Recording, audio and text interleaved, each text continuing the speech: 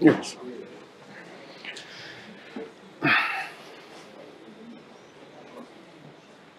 Може да почнем. Добро вечер на сите. Ве поздравувам. А, вечерва сакам да го а, представам професор Сем Баклин, кој дарежливо се понуди да одржи едно предавање. Јас во името на клиничката болница Аджибадем Честина го, го представувам. А, нема да зборувам многу за него, а, бидејќи и на самите покани има на кратко. А, што значи а, неговото име во светот на психологијата. И очекувам и сум сигурен дека ќе имаме едно многу интересно предавање за една група на расстройства од доменот на расстройствата на личности, посебна една посебна група во која се спаѓа и нацизмот и а, психопатијата. Меѓутоа, понатаму, ќе му препуштам зборот на професор Ваки. Thank you.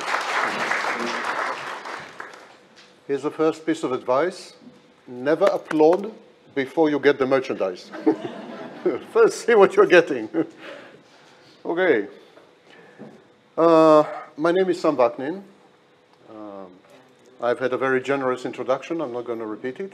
I want uh, to thank, first and foremost, uh, Dr. Wautakov and Dr. Dimova from Sistina for organizing this event. And I want to thank Sistina as a hospital for the wonderful and professional treatment that my wife has received here. And this is my way of saying thank you for being who you are. Thank you very much. I teach in uh, Cambridge, United Kingdom, and in other universities. Um, and those of you who can't get enough of my face, you can join my YouTube channel. Um, it's a channel dedicated to narcissism, personality disorders, psychopathy, and other wonderful topics which will make you very happy and joyful and cheerful for the rest of the day. There are 400,000 subscribers on this channel, so you're welcome to join. You will be in good company, I think. I hope. okay. What you're about to hear is the introductory lecture, the introduction to a one-day seminar. And this is a one-day seminar that I'm giving all over the world. I just gave a seminar in Mexico City and San Francisco and other places. This one-day seminar um, is about cluster B personality disorders, narcissists, psychopaths. Don't be alarmed. I will explain all these terms. Um, and those of you who like to travel, there is going, I'm going to give this seminar in Zagreb. In Zagreb on the 8th, on the 8th of December. I'm going to give the one-day seminar. Uh, it will be, this seminar is in Zagreb at least, it's free of charge, so it will cost you only the ticket. And if you don't like what you hear, uh, you can sue me for a refund. Okay. 1,950 years before the Diagnostic and Statistical Manual. There was another book written by Jewish scholars. It's known as the New Testament. And this is what this book has to say. You see? it's a sign from God. Direct communication. This is what the Bible has to say. But mark this there will be terrible times in the last days. People will be lovers of themselves, lovers of money, boastful, proud, abusive, disobedient to their parents, ungrateful, unholy. This is the Bible, not, not me. Without love, unforgiving, slanderous, without self control, brutal, not lovers of the good, treacherous, rash, conceited, arrogant, lovers of pleasure rather than lovers of God, having a form of godliness but denying its power. Have nothing to do with such people, says the Bible. They are the kind who worm their way into your homes and they gain control over gullible women, which sounds like a lot of fun, who are loaded down with sins and are swayed by all kind of evil desires. These people are always learning, but never able to come to the knowledge and to the truth. That is by far the best description of narcissists that I know of. Much better than the Diagnostic and Statistical Manual. Much better than the International Classification of Diseases, the ICD. These are the two books that we use to diagnose people. Diagnosing people is a lot of fun. It's like detective work. So, in the Diagnostic and Statistical Manual, we have a list of nine traits. And then we compare the person sitting opposite us, the presentation. The, we compare the presentation to the list of criteria. And if the person meets five out of nine, that's a narcissist or a psychopath. Similarly, in the International Classification of Diseases, the ICD, edition 11, we have a list of traits, antagonism, dissociality. We will discuss these traits a bit later. And if someone comes to our office and they satisfy these traits, we say that they are possibly narcissists or psychopaths, although the ICD does not use these words. I want you to, to know. Narcissists and psychopaths are terms that are used almost exclusively in North America, in United States, in Canada, to some extent in United Kingdom, some parts of Australia. The ICD does not contain this diagnosis. There's no diagnosis of narcissistic personality disorder in ICD. So the lecture is divided in two parts, like everything Jewish. The first one is, the first part is phenomenology. I'm going to describe to you the typical narcissist. The second part is etiology. And the etiology part is actually much more interesting, at least to me. Because the question arises, how come such a human being is, is formed? What creates such a person? And you know, when I say human beings, human being, by the way, you can hear me well to the very end? My, my apologies, my condolences. So, when I use the word human being, in this particular context, I'm, I'm a bit careful. Because as you will see, narcissists lack critical features of what constitutes a human being. Narcissists, for example, have no emotional empathy. Narcissists have no access to positive emotions, such as love. They never experience positive emotions, only negative ones. So, if you begin to remove one layer after another, the question arises what is left? And in which sense is the narcissist a full fledged human? Is it a human being? I know this is not the way a professor of psychology should talk. It's politically incorrect. You should not say such, things about people or you will lose your job. Well, with you, I'm, a, I'm being a bit more open and a bit more honest, I think. There is a serious problem in perceiving and conceiving of narcissists and psychopaths as human, as you will see, especially psychopaths. Now, the question in the second part, the etiology, and I'm keeping the good part to the end so that you don't leave the room. Yeah? The second part deals with the way the narcissist is formed.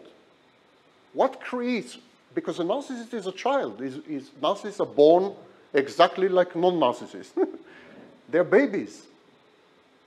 What happens to this kind of baby? What, what transforms the baby into a narcissist later in life? And this is the etiology. This is the process. And you're going to hear things, this is the latest in research, the cutting edge in research. You're going to hear things that defy belief and defy imagination.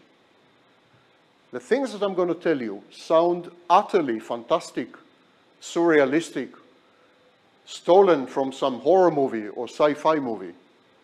Yet they're all real.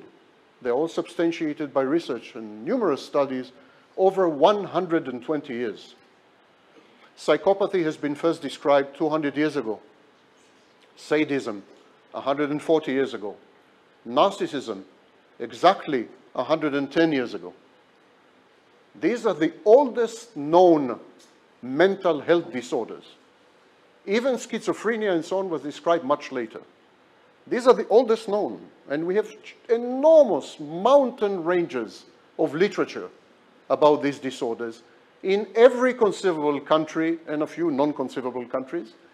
And we know almost everything there is to know, at least phenomenologically. The etiology is evolving, as you will see.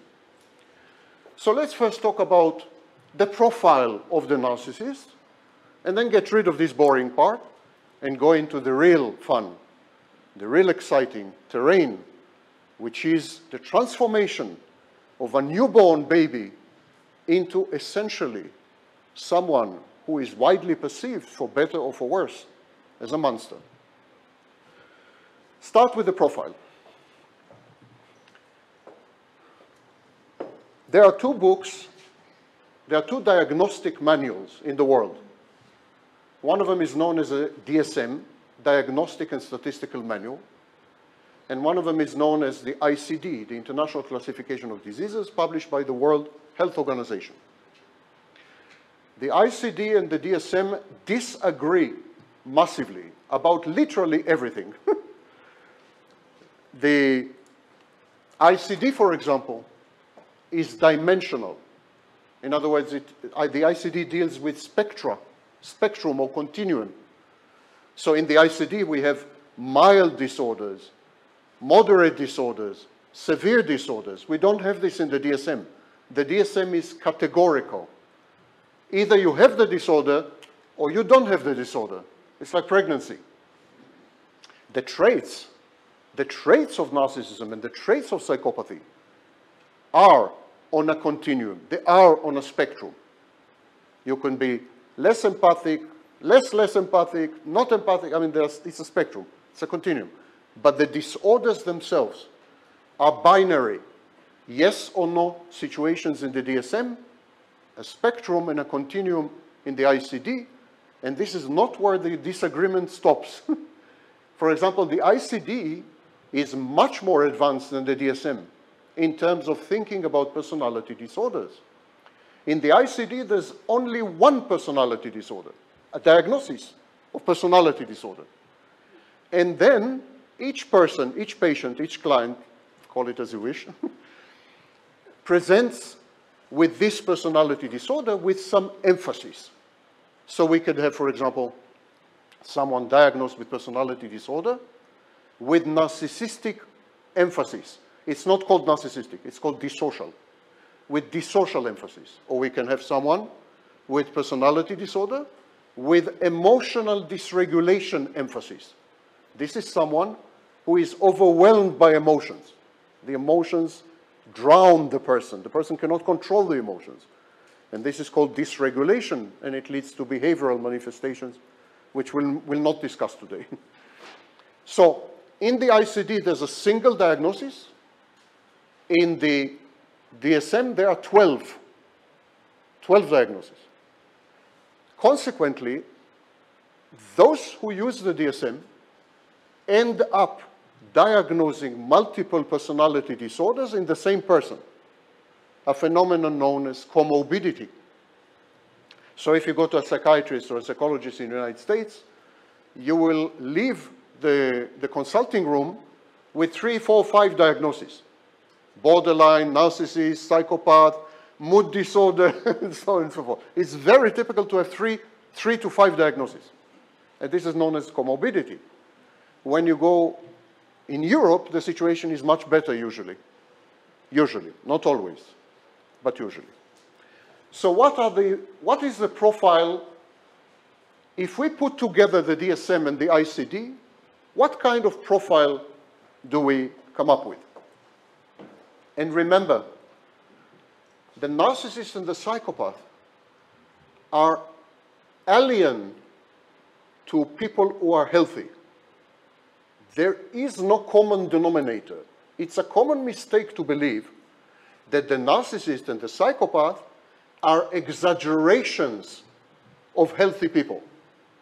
It's like we take a healthy person, we make a caricature or an exaggeration, and that's the narcissist and the psychopath. Wrong. That is not true. That what is true is that there is very little in common between narcissists and psychopaths and normal, healthy, regulated, relatively speaking, people. If you can find people like that nowadays. The first thing, of course, which everyone will tell you, is that narcissists and psychopaths don't have empathy. By the way, on the screen, you can read the definitions of the Diagnostic and Statistical Manual. Now, a very interesting piece of gossip, because what is a lecture without gossip? It's boring. It's a very interesting piece of gossip.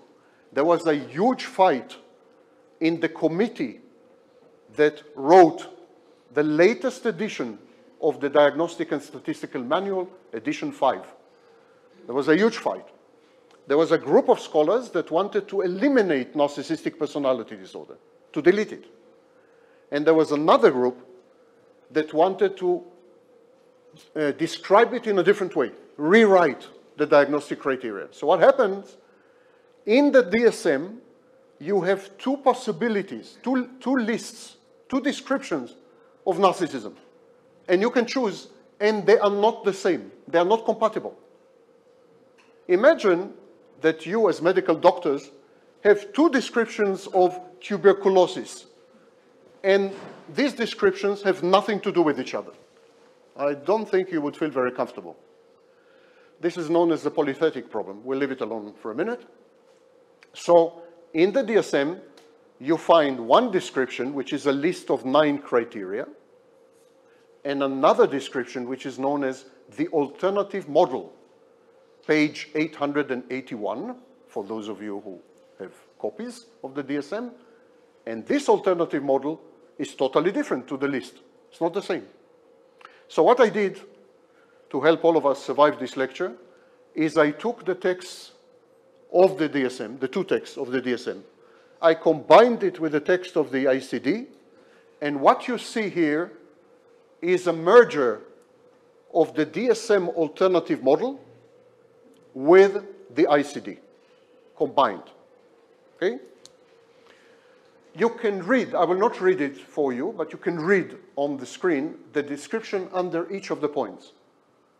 What I will do, I will tell you, I will give you uh, access, I will give you insight to the clinical presentation of these, of these traits. These are all known as trait domains. These are traits of the narcissist. We start with lack of empathy. Until very recently, there was a serious mistake in the literature and among scholars. They said that narcissists and psychopaths don't have empathy at all. They're unable to empathize with people. Now, for those of you who need a definition of empathy, which is not a good sign, those of you who need a definition, empathy is the ability to put yourself in other people's shoes to see their point of view and then react to this insight emotionally. It's not enough to understand someone. It's not enough to put yourself in someone else's shoes. It's not enough to say, oh, she's sad, he's happy. It's to feel it. The word empathy was first coined, believe it or not, by a German. A German came up with this word. And in German it is Einfühlung. Einfühlung. feeling together, feeling like a sing single feeling. and the German who came up with this word, long dead by now, um, said that when we look at a painting, when we look at a painting, we resonate with the painting, painting, the painting or piece of music or piece of art, create in us, these pieces of art create in us emotions. So he said, when you look at a painting, you have Einfühlung with the painting. You, your feelings resonate. And this became empathy. Because someone took this idea and said, wait a minute, why only painting? When we look at other people, we have also emotional reactions. And this is how empathy was born in Germany, of all places, which proves to you that history is unpredictable. So, um, today we know that narcissists and psychopaths do possess empathy. It is not true that they don't have empathy. This you will find in older textbooks, other places. But today, the cutting edge, I'm going to give you the recent advances. The cutting edge is they do have empathy. But they have a special kind of empathy. I, co I coined the phrase cold empathy. It's combination of cognitive empathy and reflexive empathy, but no emotional empathy. Let me explain. A baby is born. Baby looks at mommy. Mommy smiles. Baby smiles. Back. If it's a normal baby, smiles back. This is reflexive empathy. It's a reflex. Similarly, the baby grows, becomes a toddler, infant, toddler, and child. And baby begins to a child begins to realize that other people experience emotions or affects that are similar to him, to the child. So the child says, uh, she is crying. When I'm crying, I'm sad. So she must be sad. It's a deductive process. It's a syllogism. So this is cognitive empathy. Okay? Emotional empathy is when the child becomes sad because someone else is sad. This is where psychopaths and narcissists stop. Psychopaths and narcissists fully fully decipher and decode and understand your emotions. Fully. Even more than usual. Even more than normal. They're able to, the psychopath and the narcissist is able to scan you, scan you, and immediately find out your weak points, your vulnerabilities, your fears, the chinks in your armor, penetration vectors. So this is the scanning process of the narcissist and psychopath which uses empathy, of course. And then there's no emotional reaction. The psychopath would see a woman crying. Okay. A healthy person would see a pers another person, a woman. Let's take a woman because it's uh, very sexist. So he would see a woman crying. A healthy man would see a woman crying. He would say, oh, she's crying. She's probably sad. I feel sad. Let me try to alleviate her sadness. Maybe it will help my sadness as well. Let, us try to be happy together. And he will talk to her, calm her, and so on. A psychopath would see the same woman crying. And he would say, oh, she's crying. So she's fragile. She's vulnerable. I can have sex with her. A narcissist would see a woman crying, and he would say, there are two possibilities. If she agrees to get my help, if she agrees for me to become the savior, the rescuer, then she is interesting because she could become a source of attention and admiration. She will let me save her. She will let me help her. She will let me rescue her. And so this makes me big. This makes me, that's one option. The second option, a narcissist can say, she's crying too much. It's too much work. She will not be able to give me attention or admiration or adulation, and so she's not interesting. And he would just walk away. That's the difference between healthy people and narcissists and psychopaths, and this is known as uh, cold empathy or cognitive reflexive empathy. No emotional resonance, no emotional reaction whatsoever. The reason is that narcissists are unable to access positive emotions, and psychopaths do not have any display of emotions. This is called reduced affect display. They don't display affect. So we believe that they don't experience emotions at all. We'll come to it a bit later when we discuss fear and, and so on. The next thing is fear of intimacy. What is to be intimate? When you're intimate with someone, what is it? It's to expose your vulnerabilities.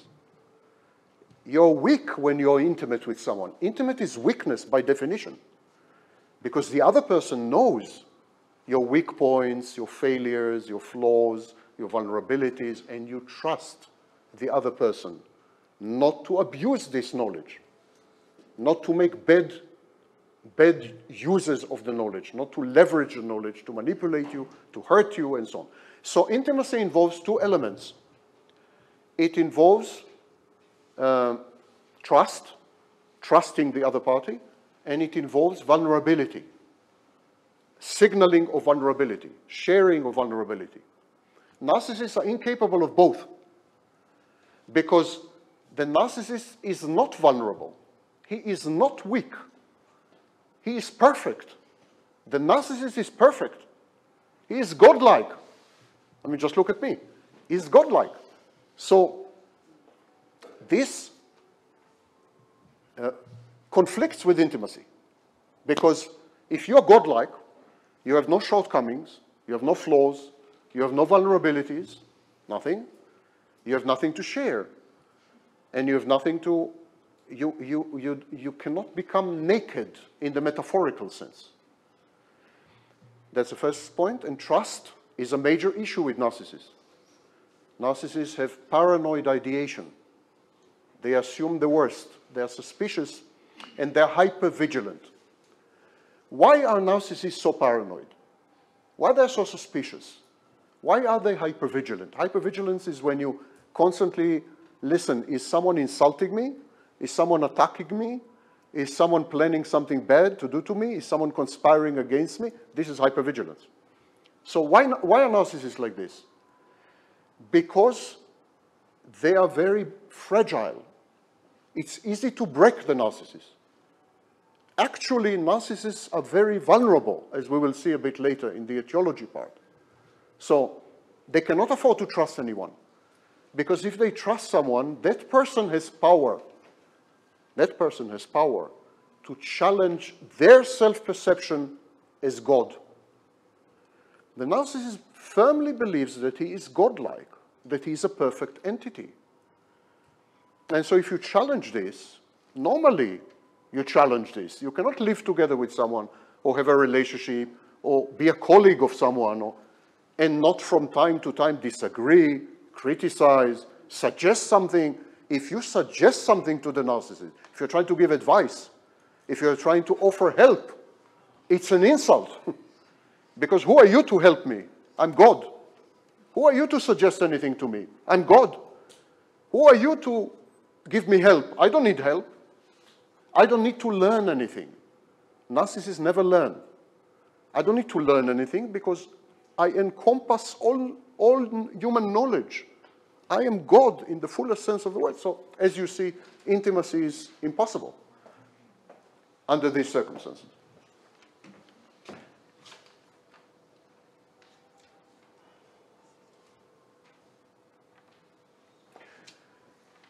The next element is what we call diffuse or disturbed identity.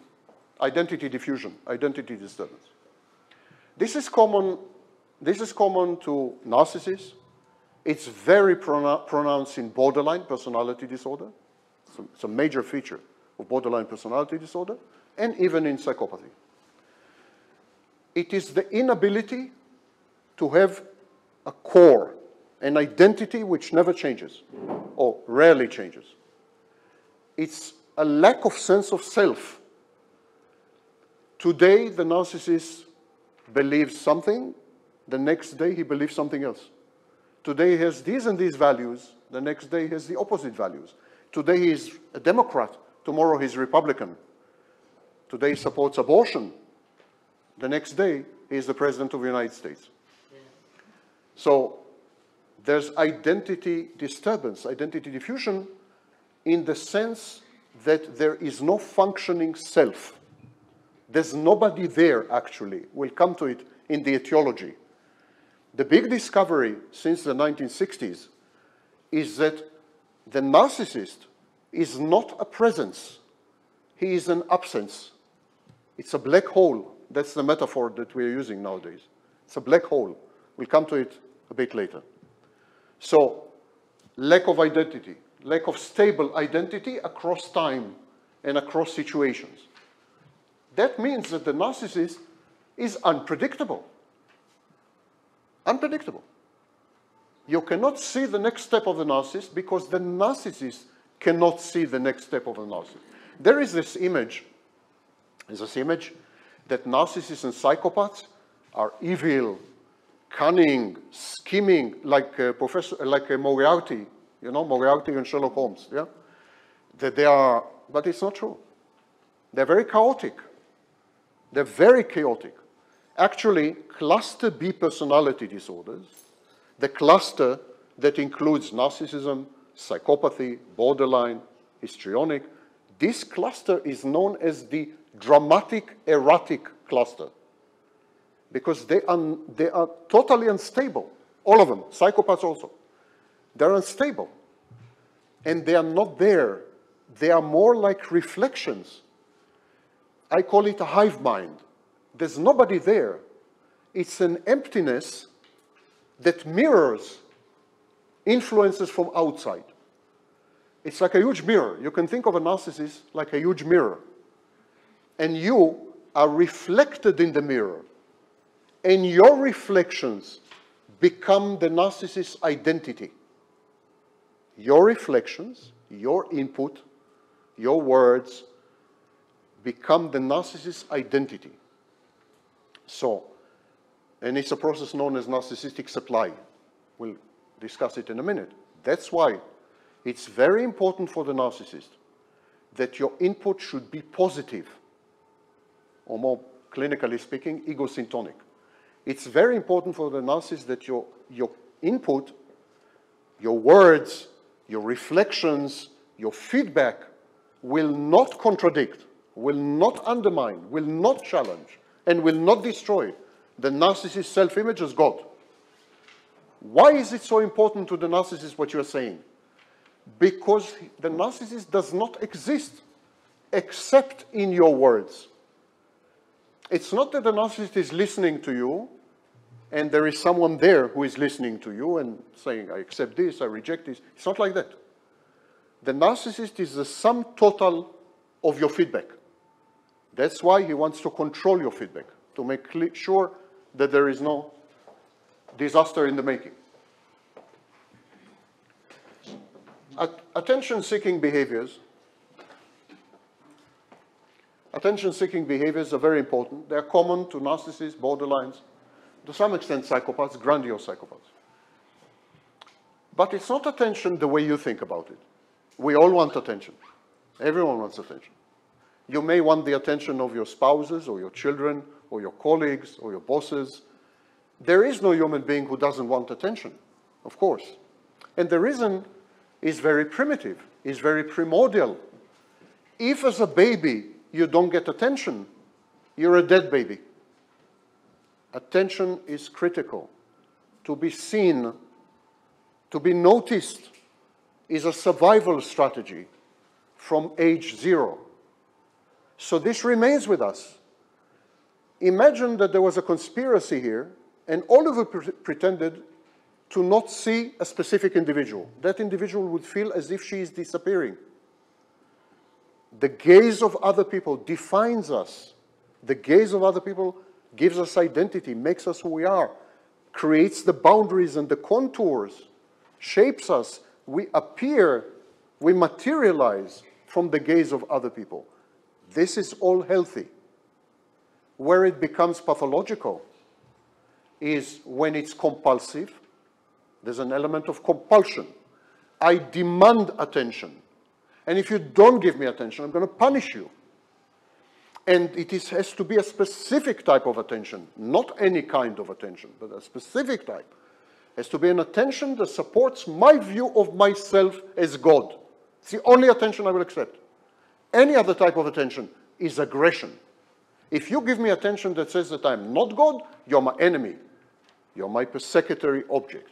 I, it, it means that you're hostile to me. And it's war. This is known as antagonism. So, attention seeking in the narcissistic sense is not the same as attention seeking with healthy people. It's not about being seen only. It's about being seen my way. The narcissist wants you to see him his way. His way or the highway. And it's very easy to flip. You say the wrong thing, you, you give the wrong look, your body language changes, the narcissist instantaneously transitions from your best friend to your worst nightmare, to your worst enemy. And I mean instantaneously. It's so instantaneous that we have a name for it. It's called switching. And it's not only narcissists, it's also borderlines, although for different reasons. Today I'm not going to discuss borderlines, which is a fascinating topic in itself. Borderlines seek attention, but for a completely different reason. They need to regulate themselves from the outside. That's a different story. This is attention seeking, which is, in the case of the narcissist, compulsive and aggressive. Compulsive and aggressive.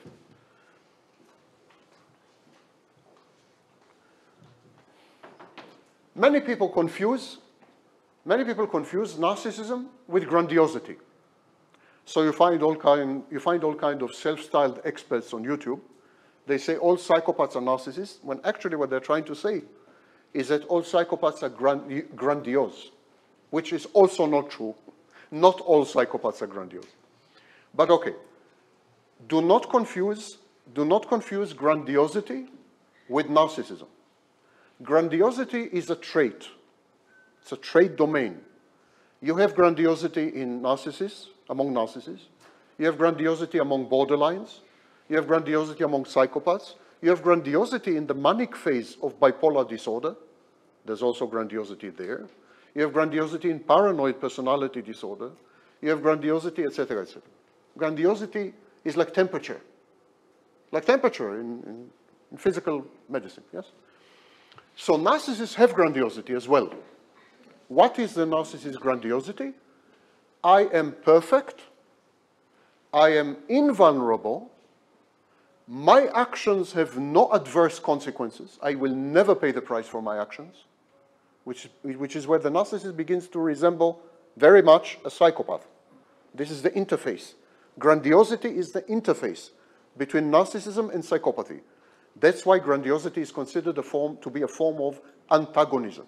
It's a subsection of antagonism. So, I'm godlike. I'm godlike. I'm godlike in every sense. It's not that the narcissist says, wow, I have a high IQ, I'm a genius. Okay, it's arguable, we can discuss this. The narcissist says, I am perfect in every sense. I am perfection reified. I am drop dead gorgeous. I am a genius.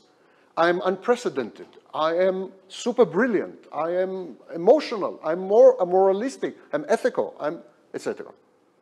So it's very important to understand the concept of grandiosity. Grandiosity is not, not about being the best, being the biggest, being the richest. That's not grandiosity. That is Trumpism. Grandiosity is about being special, being unique. So, for example, a narcissist can be very proud that he is the biggest loser, that his company had the biggest bankruptcy in the history of the world. He will be very proud of it because it makes him special. You could find narcissists who say, I I fail so much, I don't know anyone else who is failing like me. That is grandiosity. Victimhood. You heard of victimhood? There are victimhood movements all over the world.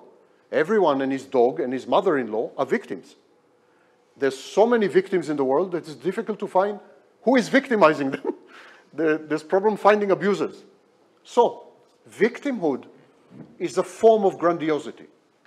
Because in victimhood, what does the victim say? I am special. My history is unique. My personal story is unprecedented. And because I'm like that, I have special rights, and you have obligations towards me. Because I have these rights, you have duties to me, you have obligations to me. So it's a power play. Victimhood is narcissism, of course, and we are beginning to discover this. There are studies since 2020. There are studies in Israel, in British Columbia, in Taiwan, in China, studies that discovered that in victimhood movements, you heard of Me Too, you heard of Black Lives Matter, you heard of all these victimhood movements, you, have, you heard of uh, far right, supremacists, white supremacists, and so on. These are all victimhood movements. We made studies of these movements, and we found out that the, the uh, prevalence and the incidence, I'm sorry, the incidence of narcissists and psychopaths in these groups is much higher than in the regular, in the normal population, in the general population. In other words, narcissists and, and psychopaths gravitate to these social movements. They infiltrate these social movements and they take over. They take over these social movements. Leaders with charisma, uh, gurus, and so on, they take over these victimhood movements and they use the victimhood movements for self-gratification, self-supply, narcissistic supply, and so on. So you see, grandiosity is not about being the best or the biggest, it's about being special. You could be special in a bad way. I'm the greatest serial killer in history. I'm the greatest failure in history. I'm the greatest, you know, loser in history. That's okay. That's a grandiose statement.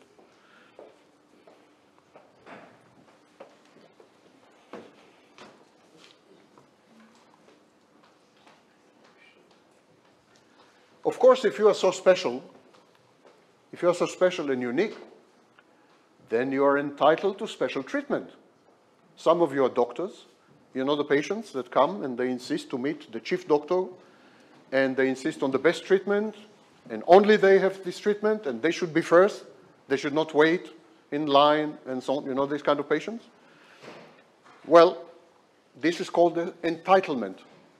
Entitlement is the mirror image of grandiosity.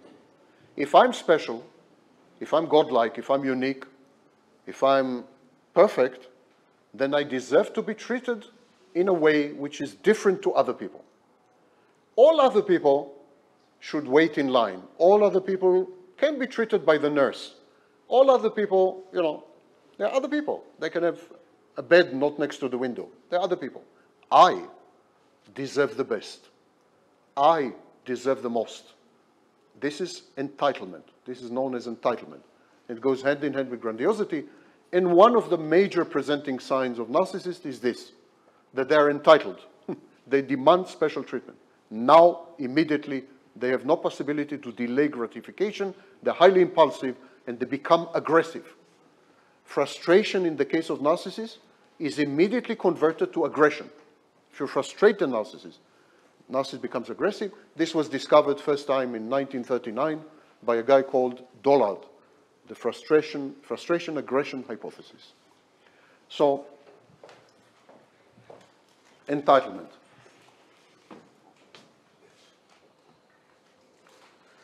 Anankastia is a very fancy way of saying obsessive compulsive features. The narcissist, the narcissist, as I told you, is a bit paranoid is a bit paranoid. So the narcissist catastrophizes. The narcissist expects the worst. The, the worst case scenario is the most likely scenario. Because the narcissist expects the worst, he engages in rituals. He has rituals to prevent the bad outcomes, to prevent the worst from happening, which is a good definition of obsessive compulsive disorder or obsessive compulsive features, and this is known as anankastia. Next is negative affectivity. Negative affectivity is simply the inability to experience positive emotions and the ability to experience only negative emotions. Narcissists and psychopaths experience anger, rage, envy. Envy is very big in narcissism. Narcissists envy Narcissist envies everyone all the time. Envy, hatred, Yeah, they're big on this. They are dysregulated when they experience these emotions. They lose control. They become very voluble and expressive and in your face and ostentatious and, and so on. But they are not able to experience any positive emotions, and this is known as negative affectivity. They cannot experience love. They cannot even experience joy and pleasure. They are anhedonic. They think they experience pleasure and joy, but it's not. It's not real pleasure, not real joy. It's possessing something or being noticed. It's gratification, actually. Gratification is not an emotion. Gratification is a reactive state of mind. They're unable to experience positive emotion. Think of a positive emotion, and it is excluded from, uh, to the narcissist. He cannot access it. This is a very sad, sad state of affairs, and we'll discuss why in the etiology. What happened to this kind of person that he is unable to access emotions and, and so on. But suffice it to say that narcissists have this negative affectivity. I mentioned dissociality, these are antisocial behaviors. Some narcissists are a bit of a criminal, some narcissists are hate people, some narcissists are antagonistic and conflict, conflictual, and so on and so forth. And now, a few paragraphs about narcissists in therapy and narcissists in relationships, and then we move to the etiology. The etiology is a fascinating tour and I don't believe that many of you came across this very arcane and rare literature, uh, doctors here accepted. So, um, therapy. When a narcissist attends therapy, a good diagnostician usually does not need psychological tests. The problem with psychological tests, with narcissists and psychopaths, that they're a bit stupid because the psychological tests rely on honest self-reporting by the narcissist and psychopath. So what is the psychological test for narcissism? The NPI. And the psychological test for psychopathy, the PCLR. These are self-reporting tests. So the, the clinician is asking the psychopath, is it true that you tortured animals when you were young? And, and of course, the psychopath being very honest, that's, psychopaths are well known for honesty. Of course, the psychopath would say, yeah, I tortured them, I even killed them. And are you beating your wife on a regular basis? I'm kidding you not. These are some of the questions. Are you beating your wife on a regular basis, or husband on a regular basis?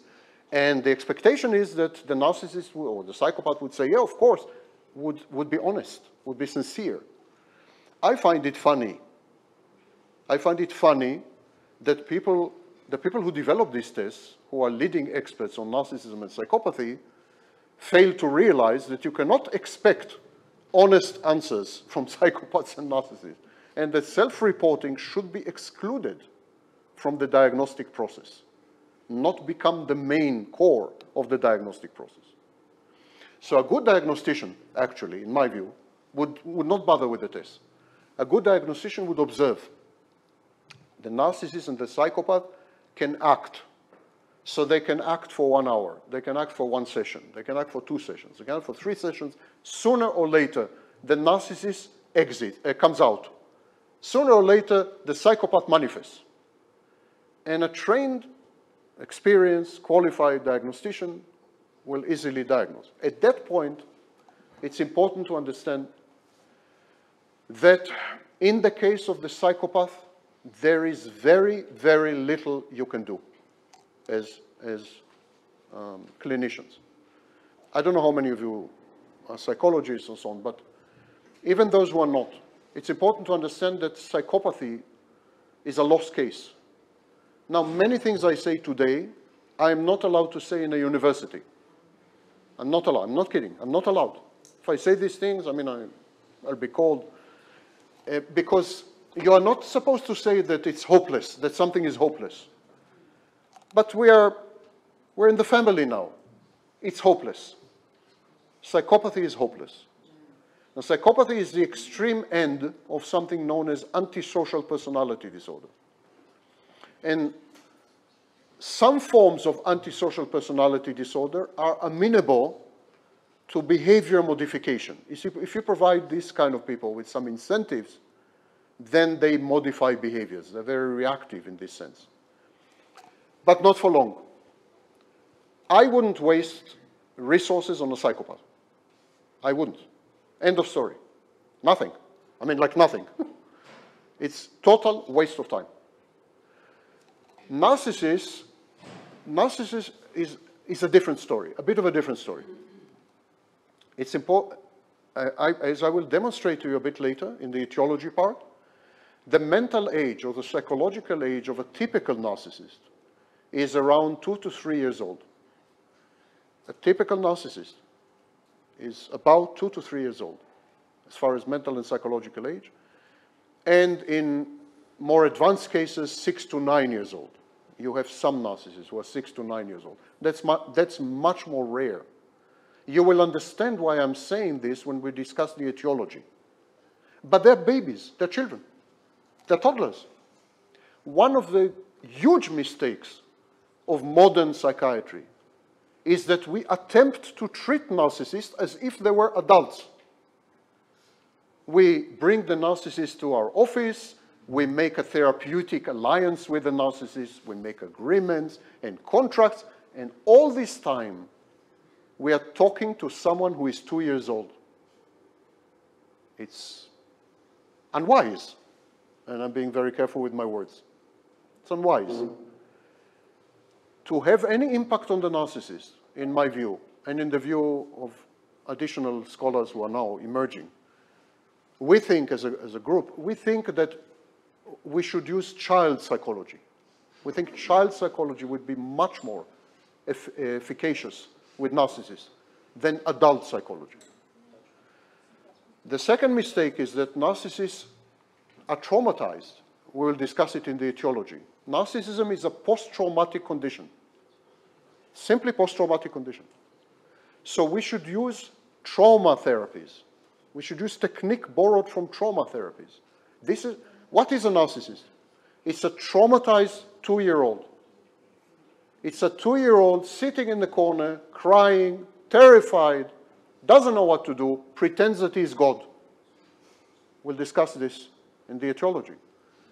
And so when you come to a child who is two years old, is terrified, traumatized, has been abused, has been suffered, whatever, it doesn't make sense to treat this child as an adult and to ignore the trauma. To say this person is a horrible person, obnoxious, uh, you know, unpleasant, and so on and as if there was no trauma there. It's wrong. Simply wrong. On human grounds, it's wrong.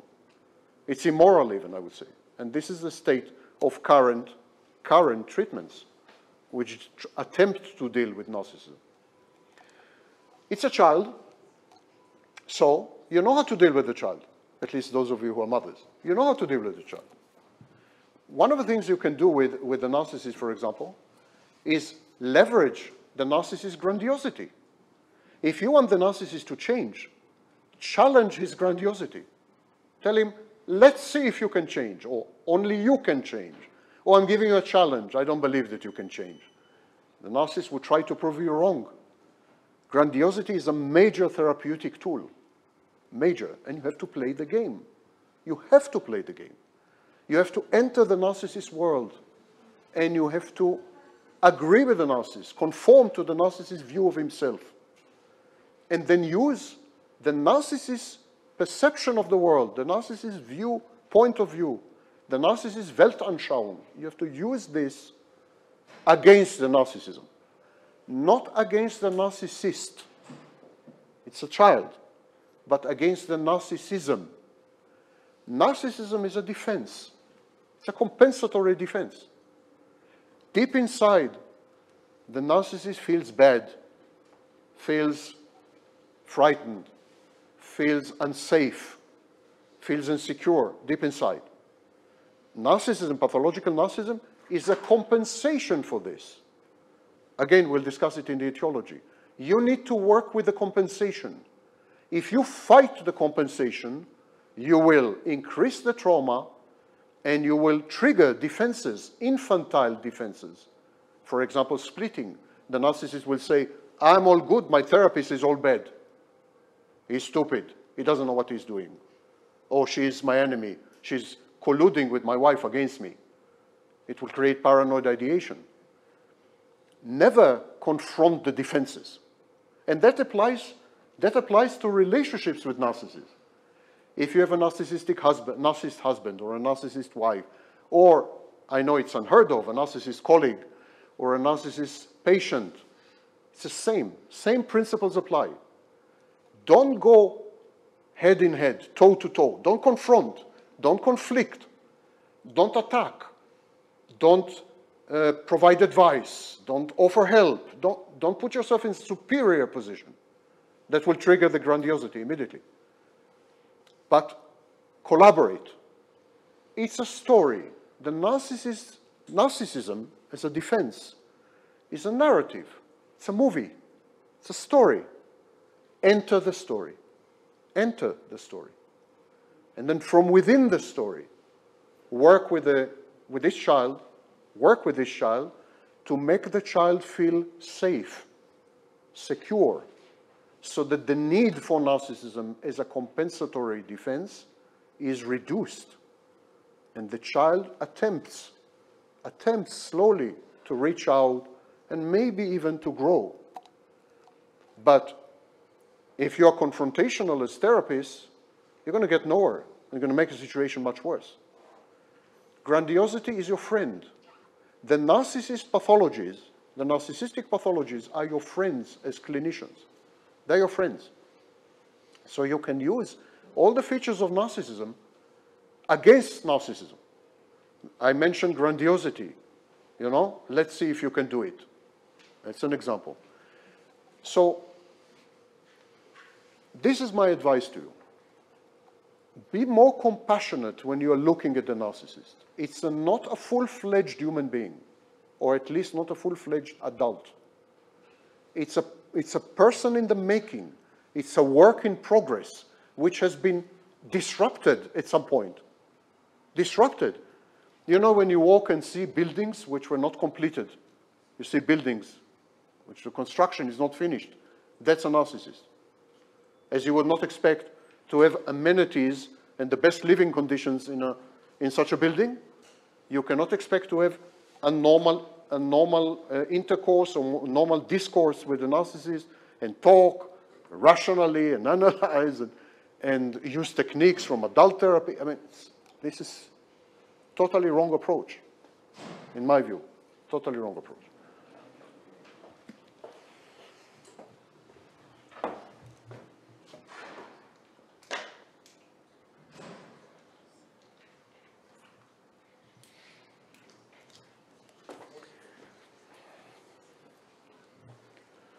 Let's talk about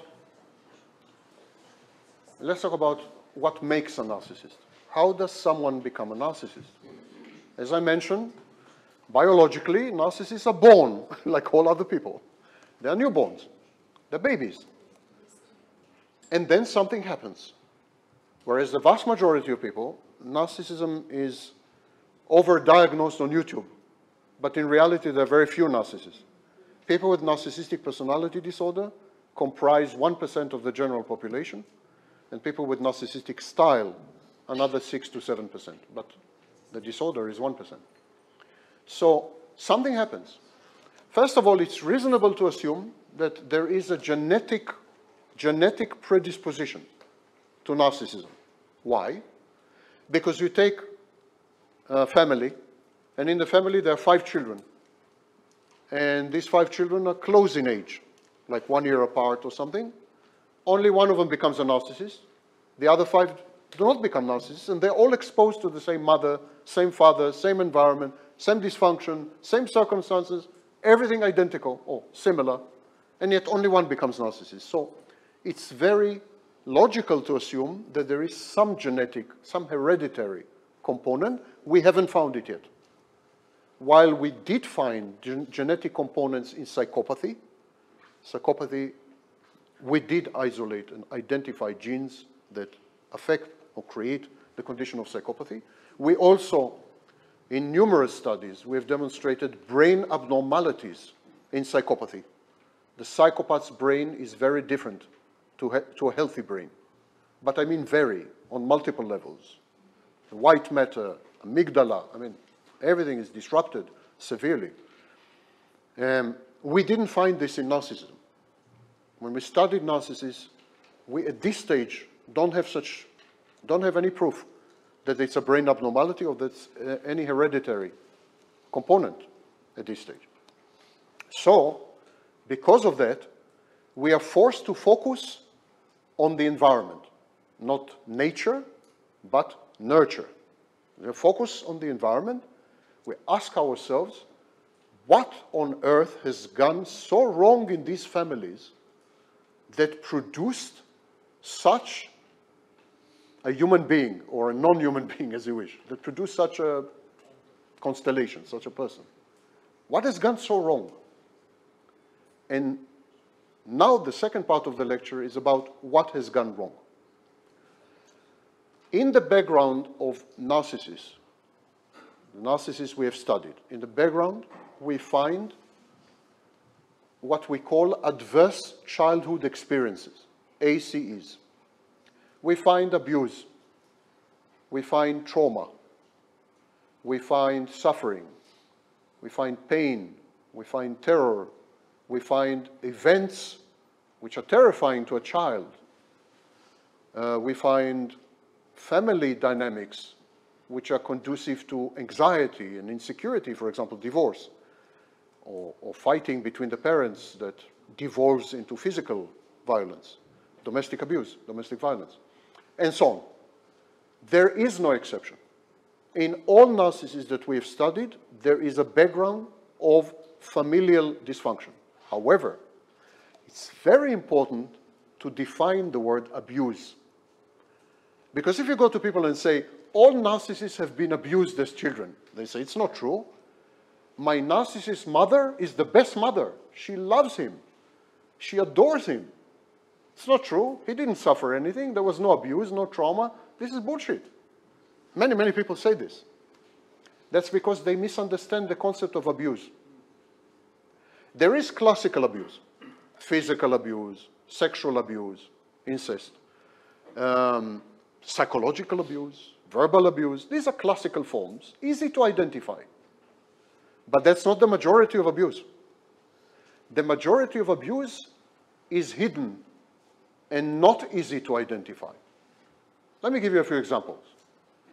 If, if I have a child and I'm forcing the child to realize my unfulfilled dreams and fantasies. I had a dream to be a pianist, and I never became a pianist, but I'm forcing my child to become a pianist. Or I had a dream, or I'm a doctor, and I'm forcing my child to be a doctor, which is a bit more common. Well, that's abuse. If I'm in a bad relationship with my husband, and I'm using my son as a substitute spouse, my son becomes my confidant, my good friend. I'm, I'm, I'm consulting my son. I'm uh, confiding in my son. I share everything with my son. I gossip about his father with my son. That's abuse. This is known as parentifying, instrumentalizing. If I am spoiling my child, I'm pampering my child. I'm super protective of my child. I don't let my child play in the dirt. I don't let my child socialize with peers. I don't let my child go out to the street because there are dangerous cars in the streets and so on. And so I'm protecting my child. I'm a good mother, no? Or good father.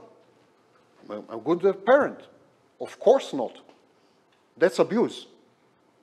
It's abuse because growth, personal growth, is driven by exposure to reality and to peers. You need to, to be in touch with reality. You need to suffer. You need to experience loss. You need to be wounded. You need to be sick in order to grow. There's no other way to grow. And if your parents isolate you, corset you, prevent you from this, don't allow you to play with your peers or go out to the street, they're abusive. This is abuse. However, we don't consider it to be abusive. That's the, that's the enigma here. We don't consider such behaviors to be abusive.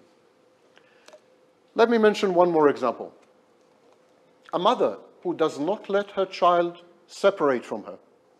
She doesn't let the child separate.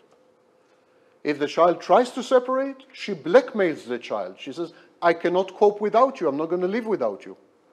You know, you need to stay and help me. I'm invalid. I cannot move. I need your help. This, that. That's an example of abuse.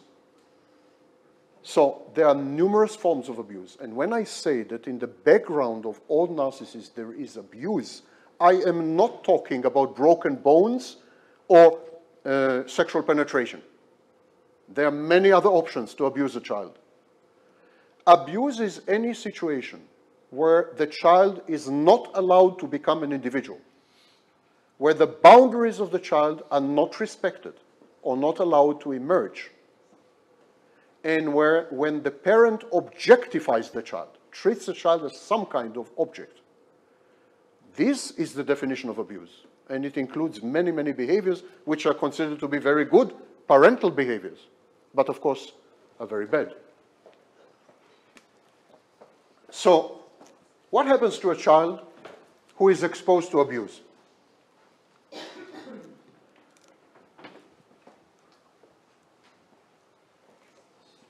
There is a concept in uh, psychoanalysis, it's known as the dead mother.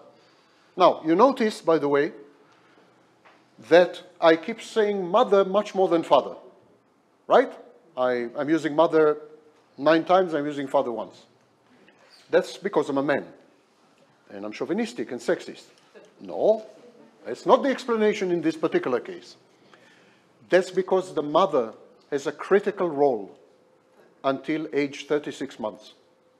And the father's role in this initial, in this initial period is much more limited. Much more limited. The father becomes more important than the mother after age three years, when the father is actually a socialization agent. agent. The father introduces society to the child, teaches the child skills, and so on. But this is much later. In the formative years, which are between 0 and 36 months, and then there's another period, but the initial formative years, the mother is critical. I would even go as far as saying that the mother is the only one, the only one with psychodynamic and psychological influence on the formation of the child. I'm not alone in this, of course. Bowlby, Bowlby, who came up with attachment theory, had the same ideas, agrees with, with me, or I agree with him and so on. It is, of course, politically incorrect to say this. If you dare to say this, you will be fired and, uh, and probably driven over by someone in the academy, but it happens to be the truth. We, we call these years formative years for a very good scientific reason. 80% of the structure of the brain is ready by age three, and 90% of the structure of the brain is ready by age five. That's why we call this period the formative years. So the mother is critical here, and there is a concept in psychoanalysis known as the dead mother. Dead mother metaphorically. The concept was invented by André Green, who is a French psychoanalyst, of all things. Dead in the sense that it is an absent mother, emotionally absent. She's absent because she's depressive, or she's absent because she's selfish, or she's absent because she's entitled and grandiose, or she's absent and the child is not good enough for her, or she's absent because of her relationship with her spouse or her boyfriend or whatever. Be that as it may, this is a kind of mother who does not function. It does not exist in the life of the child. And in the vast majority of the, of the anamnesis and etiology of narcissists, we find a dead mother. A dead mother is also a mother who takes over the child, a, a, mother who is overprotective of the child, a mother who is refusing the child, refusing to let the child go away, separate, individuate. There's one test for a good mother. Winnicott, Winnicott, who was a pediatrician before he became a psychologist, Winnicott suggested the, coined the phrase good enough mother. But actually, a good enough mother, there's one test. if you want to ask yourself, have I been a good mother? There's one test. You push the child away. That's a good mother. I know it's counterintuitive, it's against intuition, but that's a test of a good mother. Did you push your child away? Not in a bad way, not abusively, not, but did you give the child the freedom to separate from you with a full sense of security? This is known as a secure base, where you a secure base. Did you allow the child to walk away and to become a person, to acquire personhood? And this process is known as separation individuation. Narcissists have not been allowed by their mothers to separate, individuate. This is a key insight in narcissism. Narcissists are people who, as children, were not allowed to walk away, were not allowed to develop boundaries, were not allowed to become individuals, were not allowed to separate from mother. This is the key if you want to understand narcissism with a single sentence, that's the key. Yeah. Is the same for the boys and the girls? Yes. Yes. The myth, the myth that female narcissists are different to male narcissists is just that. Yes, it's a myth. The, the etiology is the same. theory of love, he makes a difference. It makes a difference. That's not how we think today. After, I mean, Lowen, for example, in his, uh, in his famous book about narcissism, uh, did not take into account attachment theory. He did not take into account social learning theory and so on. So, if, although his book was 1979, I think, uh, and attachment theory was in the 60s, he didn't take it into account. Um, so we, here we have a child with a mother who is in some way dysfunctional. A mother who does not provide good enough motherhood. She's not a good enough mother, and consequently, the child cannot separate from this kind of mother and become an individual. He doesn't undergo the process known as separation individuation. Those of you who want to read or learn more about this process, you should read works by Margaret Mahler and Melanie Klein if, you, if you're so inclined. The child at this point reacts emotionally.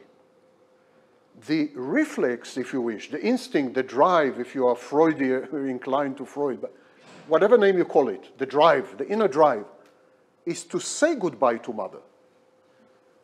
Have a look, observe. Observe toddlers who are two years old.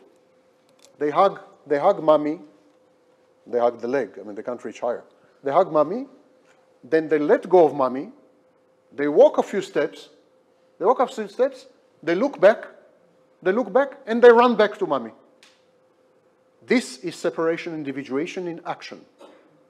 The baby, the baby takes on the world. Can you imagine? You're two years old, all you know is mother. That's your world. And suddenly you have the urge and the drive and the confidence and the bravery, the courage to leave this island of stability, to leave this secure base and explore the world. The unknown. It's the greatest adventure and the most extreme display of courage any of you will ever make. Never mind what you did later in life. There's nothing more courageous than this, and also nothing more frightening than this. It's terrifying. So the baby needs to know that mother is there, mother has his back. And this is known as secure base. That's why babies run back to mommy. After they explore a little, they run back and back and back. And, and gradually, they run a bit further and a bit further and a bit further until they end up in university. So this is a process of separation individuation. And this is the failure in narcissism. But this creates in the child emotional reactions. Obviously, if you have a drive and you're unable to fulfill it, and at the same time, you're attached to a mother who is non-responsive, who is absent. So not only she doesn't allow you to become yourself, when you make this sacrifice of not becoming yourself, she is not there.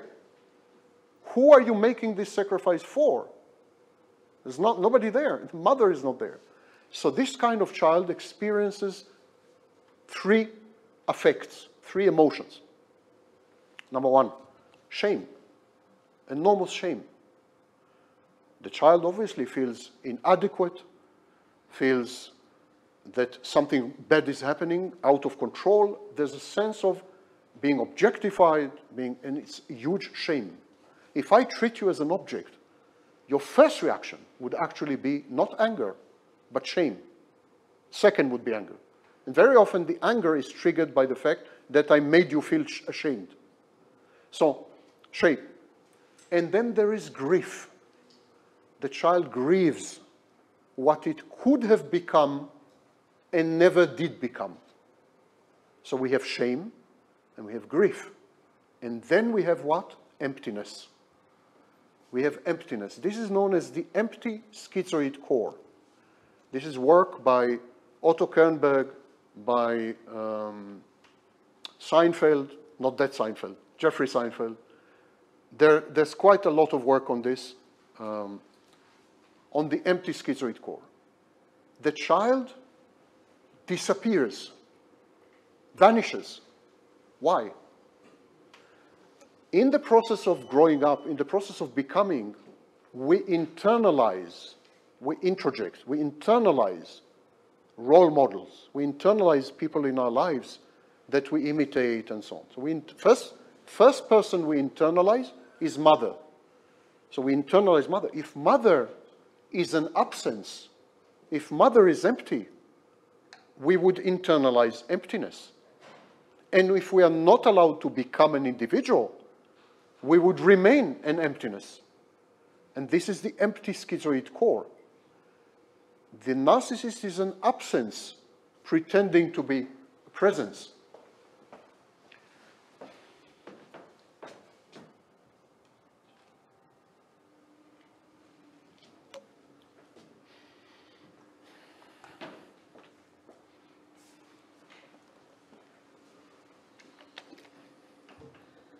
That point,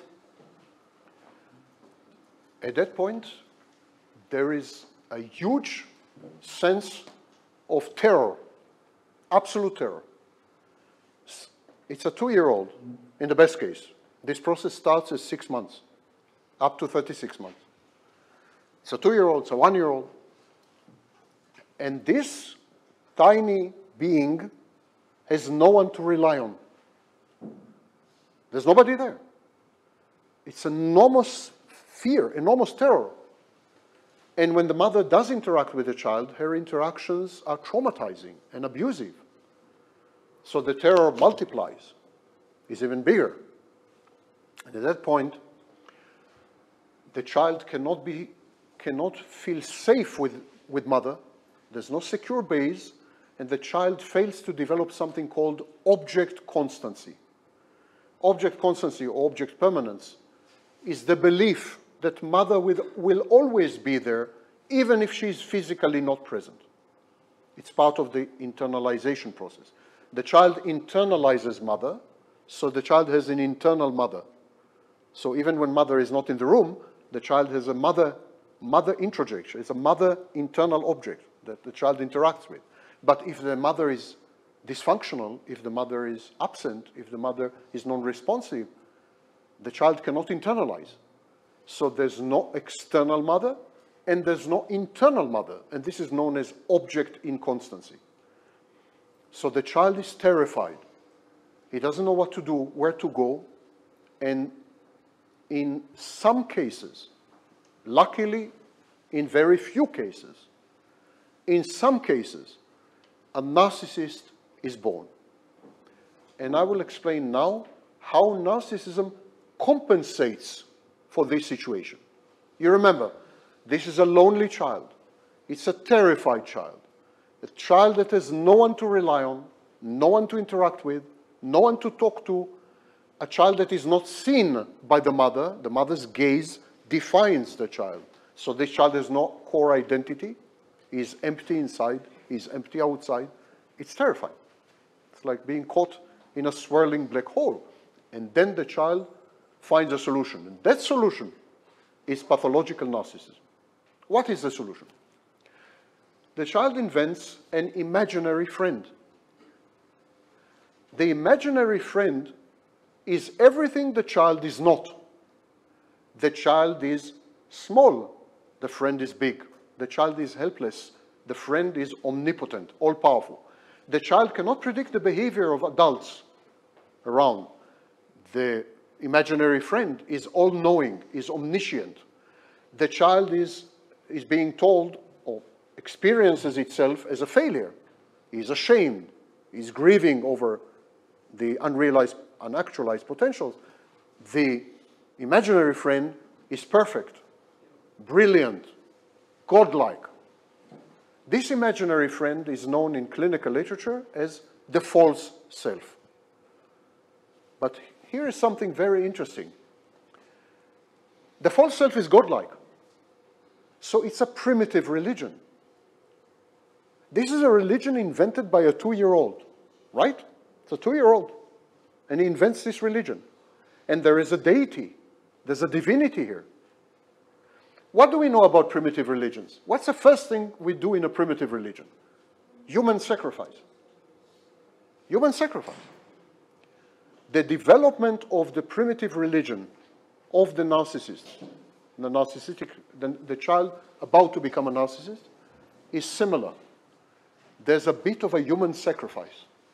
The child sacrifices himself to this divinity, to this deity this sacrifice actually eliminates the child, deletes the child, and the child merges with the false self, becomes one with the false self.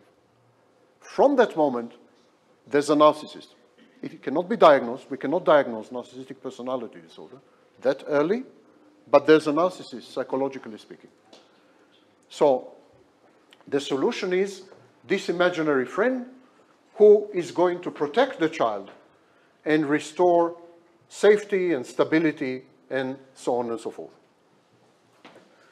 At that point, the child creates an imaginary world. This imaginary world is called paracosm. It's a fantasy defense. It's a kind of fantasy defense, and the child inhabits this fantasy. The child gives up on reality, gives up on reality completely, and, and emerges within the fantasy now as a god. Because remember, he merged with the false self. So now he's a god within the fantasy. And it is within this fantasy that narcissism thrives and flourishes. When we give up on reality, it has a name. This is called dissociation. The child dissociates. He deletes. He erases from memory large parts of his life that are intolerable, unbearable, painful. He doesn't want to remember these things. So there's a lot of dissociation in early narcissism and in borderline, of course. There's a lot of dissociation. And to compensate for these memory gaps, there is fantasy. So when you talk to a narcissist, a narcissist would tell you something. And you would say, but that's not true. I have evidence that it's not true. And the narcissist would say, well, of course it's true. And he would argue with you. Because the confabulations, these stories, these pieces of fiction that are intended to compensate for the memory gaps, they are perceived by the child as real. The child, the fantasy of the child is the child's reality, and that remains for life. That everything that's happening until age three remains with the narcissist for life because the narcissist gets stuck at this point, never, never evolves, never grows up. There is no progress, evolution, or growth or development after age three or two in narcissism. I mean, the narcissist can acquire skills, he can learn many languages, he can have very good episodic memory, and so on, memory of uh, professional memory, but emotionally and psychologically, this, that's a two, three-year-old, that's where he's stuck, and he never, never, ever moves forward. He never becomes an adult, ever.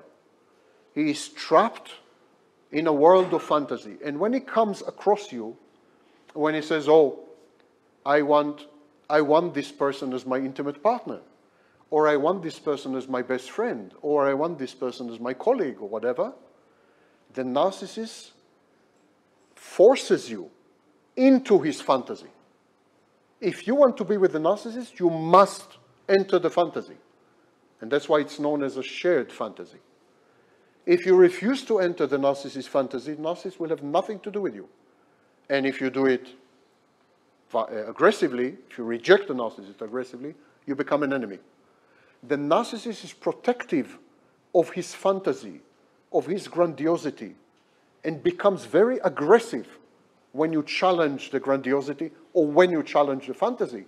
And the fantasy is a story, a movie, a theater production, play. It's a story about how the narcissist is wonderful and great and accomplished and amazing and, and handsome and, I don't know, brilliant and genius. That's a story, that's a fantasy. And because this is the narcissist's home, this fantasy, and because it's built on grandiosity, you cannot touch it. You're not allowed to touch it.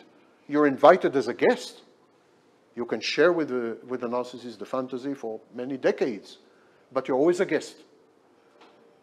You, you need to understand this. If you're married to a narcissist for 25 years, you're his guest in his fantasy. You're never the owner of the fantasy. You are never at liberty to change the fantasy, to negotiate the fantasy, to redefine the fantasy, or even to get fully acquainted with the fantasy. You're just a guest. And as a guest, there are rules. You cannot attack the fantasy. You cannot challenge it. You cannot undermine it. And one element of the fantasy is the narcissist's specialness, grandiosity, divine nature. It's a major element of the fantasy. And this is the fantasy defense that emerges in, in childhood.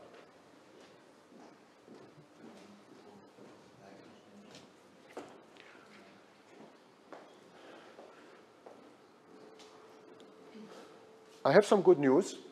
Uh, we are coming more or less to the end. So, I will talk to you right now, we'll discuss right now the process of relationships, how the narcissist forms a relationship. Remember, the narcissist is a child. Remember, the narcissist is a child. Remember, the narcissist is a child. If you remember anything from this lecture, remember the narcissist is a child. End of story. When the narcissist, as an adult, he's never an adult, he's adult chronologically, he's adult biologically, but he's never an adult psychologically.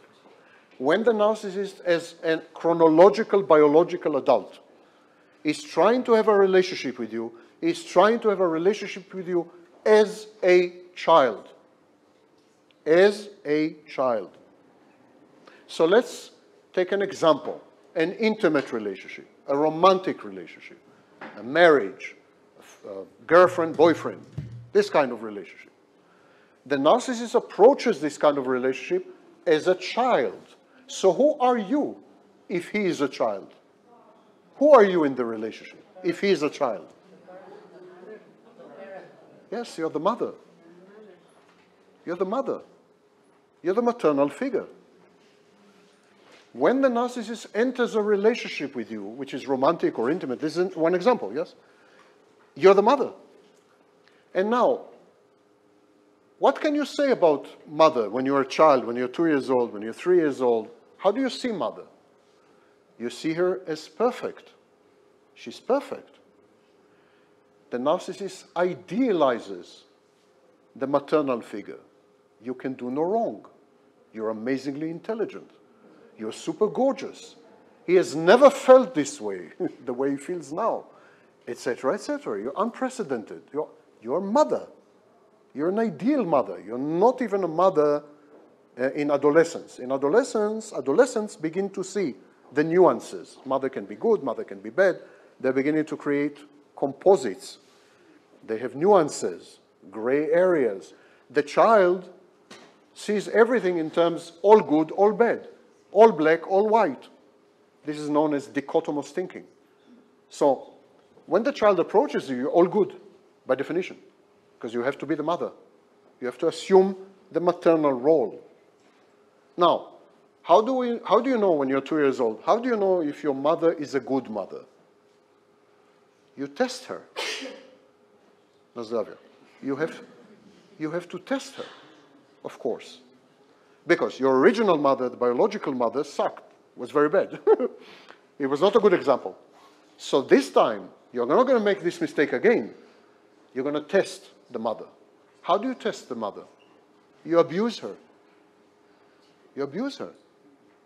If you abuse the mother and she sticks around, she stays, she doesn't abandon you, she doesn't leave you, then she's a good mother. It means she loves you unconditionally. Never mind what you do to her. Without any conditions and prejudices, she will love you. But you need to make sure of that, yeah? So you need to abuse her really badly, verbally, cheat on her, do horrible things to her. This is known as narcissistic abuse. I was the first to describe it in literature. And this is narcissistic abuse. It's a test. It has other functions. But initially, it's a test. If you pass the test and you stick around, you're a masochist or codependent or something. You stick around, then you must be a good mother. You must be a good mother because you passed the test. So at this point, you're a mother and he's a child. But at the same time, he becomes your parent. He becomes your mother or your father, usually your mother. He becomes your mother. So you experience the same. He regresses you. He infantilizes you. He pushes you back to the womb. You become his mother. He becomes your mother. And this is my principle of dual mothership. There's a dual mothership here. And so sometimes you feel as if you are the child and he is the, the father or the mother, and sometimes you feel as if he is the child and you are the mother. And both feelings are correct. Both functions exist in the relationship. This is the dual mothership principle. And so at this point, there is a big happy family. There's a narcissist, you are his mother. What next? What happened with the original mother? The narcissist failed to separate from her, failed to individuate. Yes? The mother did not let him, did not let the narcissist as a child to become a person, to become an individual. The narcissist this time needs to separate and individuate from you. This is known in psychology as repetition compulsion. The narcissist repeats early childhood dynamics and early conflicts with the mother in his intimate relationships. So now you're the mother, and he's the child, and he's growing up. He's growing up in the relationship. And you're a good mother. You're a secure base. He can trust you because he abused you no end and you stayed. So you can be trusted. So now he trusts you, and now it's safe for him to go out into the world. He is recreating age two, simply recreating it. He lets go of you and he leaves you. He goes out into the world. But how to do that? Remember that at the beginning of the relationship, he idealized you. He made you perfect. How to give up on a perfect entity? How to give up on an idealized version of a mother? The perfect mother, the amazing. How to do that? You devalue her. You say she is actually not a good mother she is actually she deceived me, or she is changed. She has changed. She is not what she used to be, etc. And this process is known as devaluation. So we have idealization, devaluation. Following devaluation, there is discard, the getting rid of the mother figure. And this is the, this is the universal pattern of relationships with narcissists idealization, devaluation, discard. After that, there are additional stages, replacement, hoovering, we're not going into it right now. But you understand now the dynamic. It is a reenactment of age two. Reenactment. And he needs to separate from you. And to separate from you, he needs to make you an enemy. He needs to make you a bad object. He needs to make you devalued, not worthy of him. And that way he gets rid of you. He separates from you and he has a chance to become an individual now. Because this time, with this mother, he got it right. He separated. But of course, it never works. It never works, and he needs to go through the same cycle again and again and again. Why are you staying in such a relationship? Why? Why most, most intimate partners of narcissists stay with them, actually. Don't leave them. Minority leave them, but majority stay with them, or stay with them and then leave them. Like, why do you stay at all? You've been abused. Why don't you walk away? Because it's addictive. What's addictive about it? What is so addictive? The narcissist idealizes you, and he gives you access to your idealized image through his gaze. You see yourself through the narcissist's gaze as an ideal object. Suddenly, you're amazing. You're perfect. You are the recipient of laser focused attention. You're the only person in the world. You're godlike. You're, you're a goddess. You're... This is an intoxicating feeling. You are given the opportunity to love yourselves the way a mother should have loved you. A mother should have loved you as an idealized object. When a baby is born, I mean, babies suck. Baby, babies are really bad things. I mean, they cry, they do other things which I will not go into because I'm on camera. I mean, it's a tough job to raise a baby, and it's not pleasant. I raised four of them, so I should know. It's not pleasant. It's not a pleasant thing. And I'm being very gentle right now. It's horrible, actually. The sleeplessness and the dirt and the. So the mother needs to idealize the baby. There's no other way. The mother could not cope with all these challenges if she did not idealize the baby. She says, This is the most beautiful baby in the world. It's the most clever baby in the world. It's amazing. So, so for what if he misses a, a leg? it's, it's a beautiful baby. So, sorry? Did any baby speak here? There's a baby here. so, the mother idealizes the baby. A mother's love, a functional, healthy mother's love, let it be clear, initially involves idealization. Later on, I mean, but initially involves idea. So when you're idealized by the narcissist in the dual mothership, remember he's your mother. When you are idealized by the narcissist, you feel like a baby again. You feel like you are being loved by a mother figure the way you should have been loved, unconditionally, idealized, perfect, amazing entity, fascinating. And so this is intoxicating, this is addictive because you are given the chance, given the chance, to love yourself finally like a mother. You are given the chance to mother yourself, to parent yourself. It's a reparenting opportunity or self parenting opportunity through the narcissist's gaze. So you depend on the narcissist. You can't do this alone. You have to look into the narcissist's eyes when he's idealizing you. Then you see your reflection, sometimes physical reflection, in the eyes. And it's, that's it. You forget everything else. You can withstand any abuse and anything. Because this experience of self infatuation, self limerence, is super powerful. And this is the secret of the narcissist how he holds you so strongly and why it's so difficult to break the bond. The trauma that the narcissist inflicts on you is coupled with unconditional, extreme, unmitigated love. You learn to associate within the relationship, you learn to associate trauma with love. And so you bond. This is known as trauma bonding. The whole process is in, in clinical literature is called intermittent reinforcement. There's intermittent reinforcement. The narcissist loves you, hates you, attacks you, hugs you, criticizes you, praises you. You never know what to expect. Negative, positive, black, white, hot, cold. This is intermittent reinforcement. But at the foundation of intermittent reinforcement, there is a message. There's a message. I love you unconditionally because you are perfect.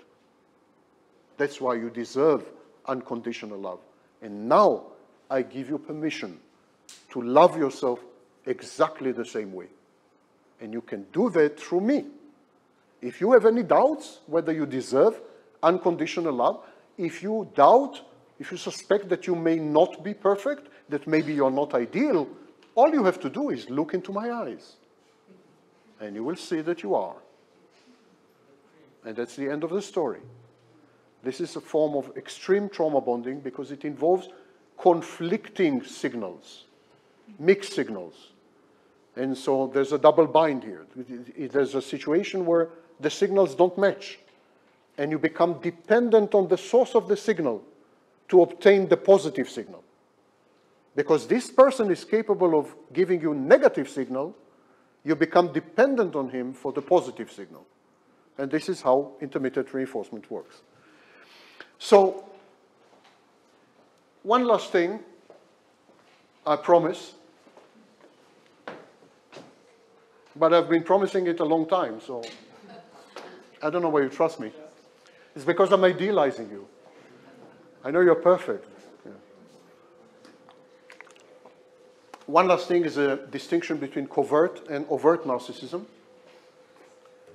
This distinction, by the way, you need to know, is um, being seriously doubted and questioned nowadays.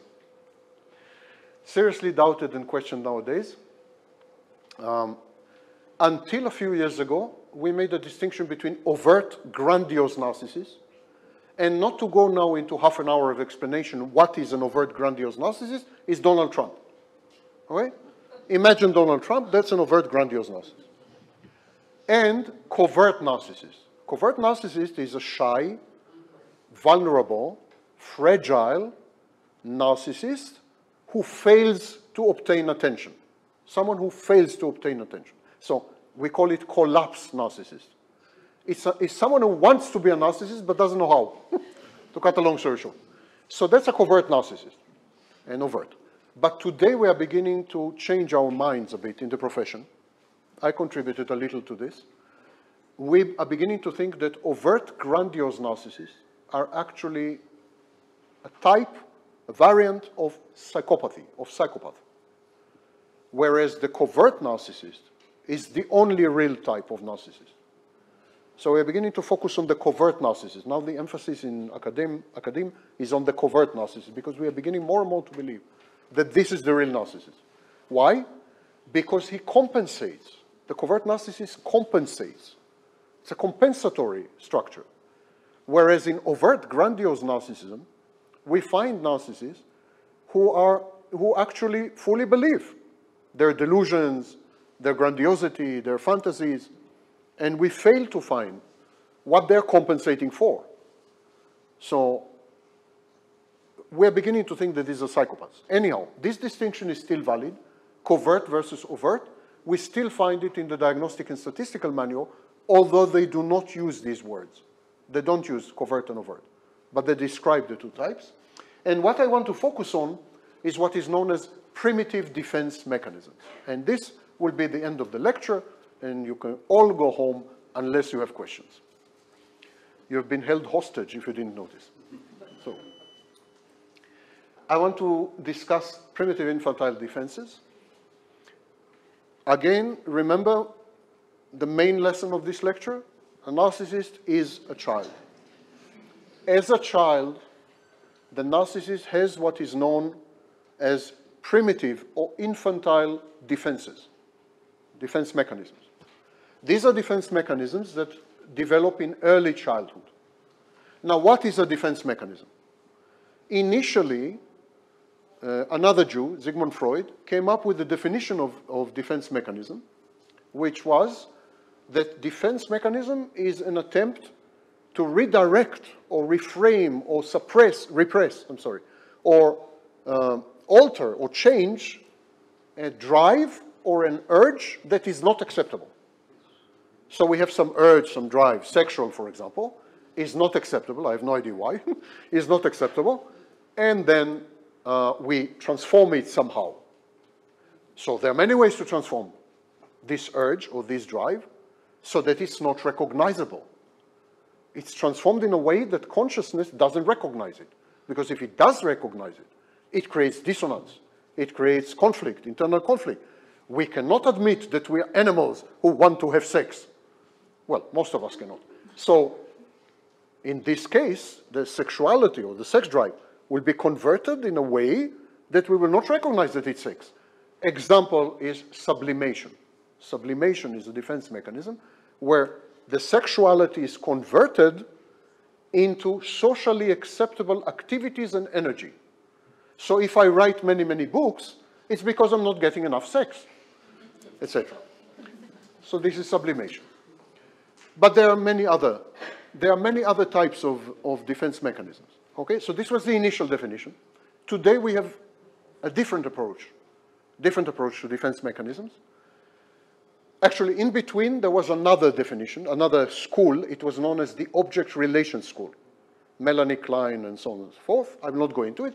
Today, we have another approach to defense mechanisms. We think the main role of defense mechanisms today is to make reality acceptable to us. Not to make internal reality acceptable to us, but to make external reality acceptable to us. So, uh, and I think we should combine. So I think what happens is internal reality determines external reality. I have a drive, then I act. I do something. Then I don't feel good about what I did, so I use defenses. Or I don't feel good about how I felt. I don't feel, feel good about my motivation, so I use defenses. I think it's all mixed. Clearly, it's about falsifying reality.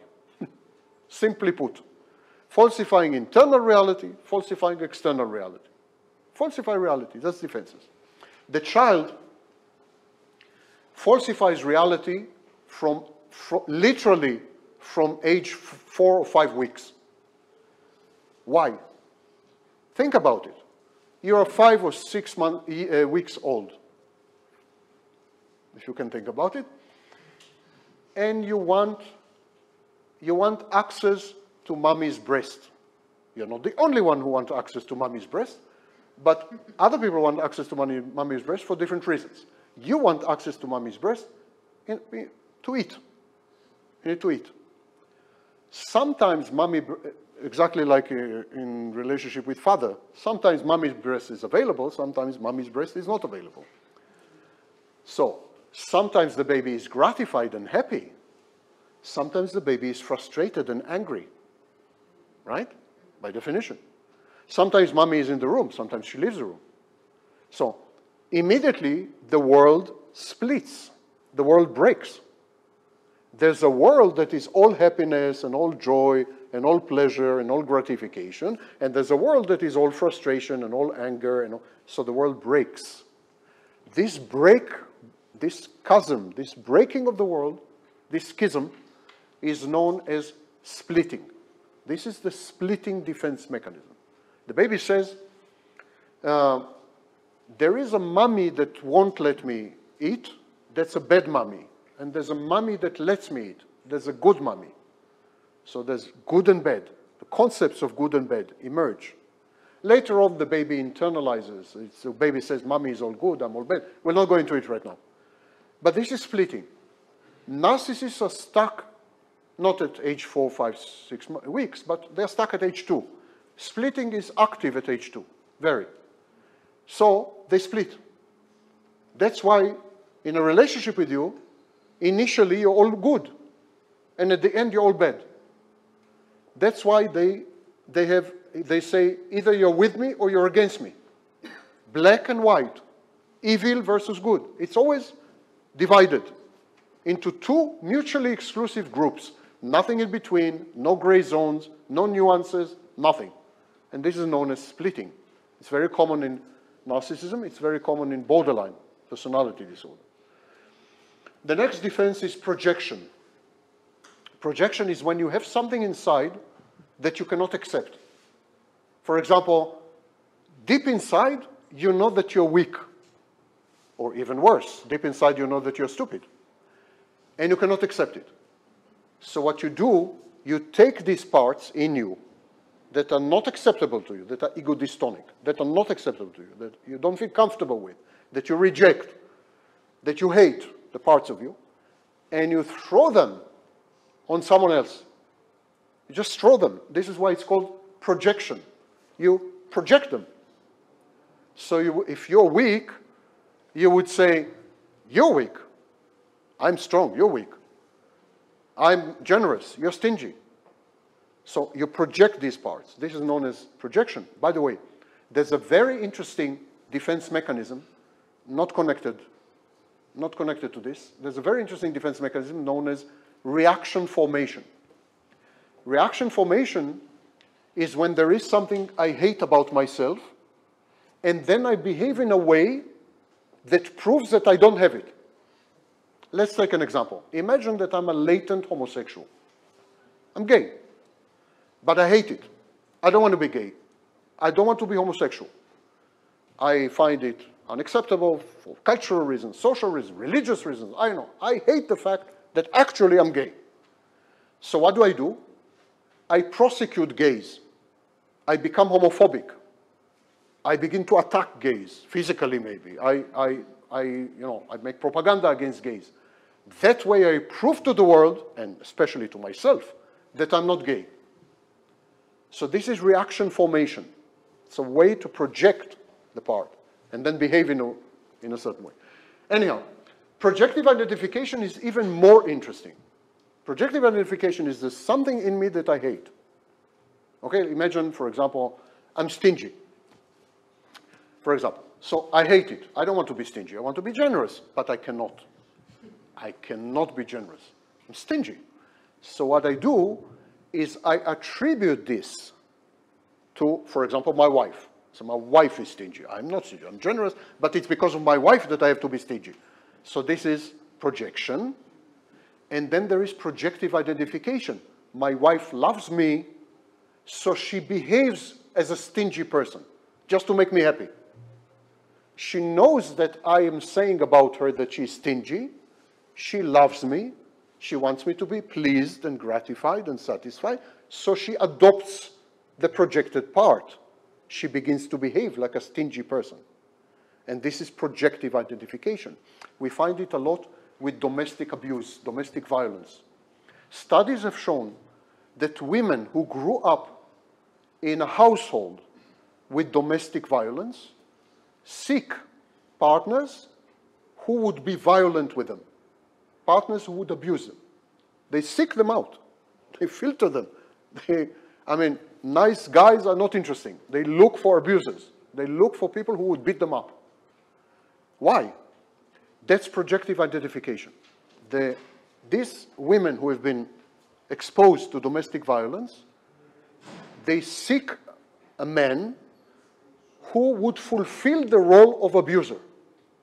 So they project the part on him and he accepts it. And he begins to abuse. And this is, we'll come to it. This is a projective identification. And uh, bear in mind your question, don't forget it. Last one is rationalization. For example, you're sitting here and you're saying, why on earth did I come here? It was such a mistake. This is horrible. And then you say, but well, I'm learning something. It's, uh, you know, this is rationalization. Rationalization is when you uh, invent some story or some narrative where your actions, your emotions, your cognitions makes sense not only to you, but would make sense to other people. Rationalization, of course, is very self-serving and very self-deceiving very often. We rationalize the most horrible behaviors. I had no choice, or I'm doing this because I love you. I'm abusing you because I love you. You know, this is rationalization. All these mechanisms are infantile. They're mechanisms of, of, of kids, not adults. Children have these mechanisms. So the narcissist is a child, and he has all these behaviors within any type of interpersonal relationships, with intimate partners, with, the, with his own children, with colleagues. He would have all this. I've described to you someone who is a very difficult person. In medicine, we have the concept of difficult patient. Many difficult patients are actually narcissists. Uh, we have difficult colleagues, we have difficult spouses, we have difficult children, we have difficult, you know. So, difficult people. Many, many of these difficult people are actually narcissists. Psychopaths are goal oriented. The psychopath wants something. He wants sex. He wants money. He wants access. He wants power. And he will stop at nothing. He has no inhibitions. And he will stop at nothing. And he will accomplish what he set out to do. Narcissists want attention. They're children. They just want attention. And they just want a mother. And when the narcissist tests you for his mother, he focuses on four things, and I call them the four S's sex, supply, attention, uh, services, and safety. You give him two of these four S's, he's yours, as any child would be. Psychopath is not, not built this way. A psychopath is a machine. It's, uh, it's a, optimizes the direction to obtaining something, regardless of the cost to you or sometimes to himself. Psychopaths, in this sense, are both much simpler than narcissists. It's a much, much simpler construct than narcissists, much simpler personality. That's why many, many criminals are actually psychopaths, because they're simple people. These are simple people, on the one hand. And on the other hand, Psychopaths, in my view, psychopathy, antisocial personality disorder, should not be a mental illness, in my view. It's not a clinical entity. A psychopath is someone who refuses to play by the rules. Simple. He doesn't play by the rules. He doesn't accept the law. He doesn't accept norms. He's not normative. He, he doesn't accept no as an answer. He must have yes. He is goal-oriented. A psychopath is you exaggerated. You all want sex, he wants more. You all love money. We're in Sistina. He wants more. We all want access and power. He wants more. It's more. It's a caricature, an exaggeration of a human being. The narcissist is not an exaggeration of a human being. It's debatable, as I said at the very beginning, if it is a human being. It's the narcissist is a disruption in the formation of the self to the point that there's no self. And so, whereas the psychopath is immediately recognizable, and eh, we can disagree with the psychopath. We can say, wow, that's horrible what he's doing.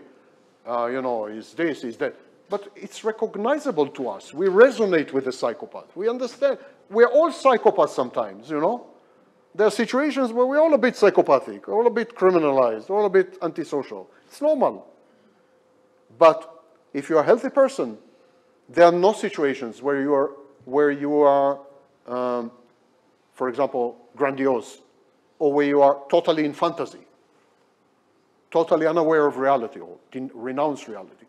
these are, these are not um, exaggerations of a human type.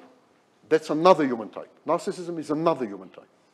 That's why I focused in today's lecture on narcissism, not on psychopathy. I personally find psychopathy boring. I find it boring because it's such a simple construct with such simple psychodynamics. It's perfectly understandable. It's even serial killers essentially are perfectly understandable. I just collaborated with the with the FBI profiler on, on serial killing uh, case, and there's an interview on my YouTube channel if you want to see. But I found I found it non-challenging, in effect. Non-challenging. It's about power, it's about sex, it's about, yeah, but I understand a serial killer. So can you. If you're honest with yourselves, you can understand a serial killer. You cannot, you will never do it. You will never engage in this kind of behavior. But have you never engaged in a power play? In a mind game? Have you never wished someone dead? it's, these are human impulses. The narcissist is divorced, chose to be divorced as a child from humanity and from reality, developed his own fantasy world and emigrated there, moved, moved to live there. And if you don't have access to this paracosm, this fantasy specifically, you cannot understand the narcissist by extrapolating who you are. You cannot understand the narcissist by saying, okay, let me look inside myself and see if I resonate. You cannot resonate. There's no resonance with the narcissist. While with the psychopath, there is. Of course, there is. Okay, you have suffered long enough. You're all traumatized and abused beyond the point of endurance. You have become narcissistic, I'm sure, many of you by now. Uh?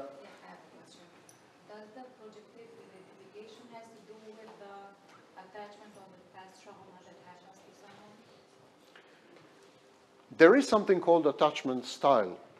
There's a theory of attachment styles that started with Bowlby and there were others later. Uh, and most narcissists have what is known as insecure attachment style. Uh, most, in most cases, dismissive avoidant attachment style. But attachment style can, can be typical of a totally healthy person.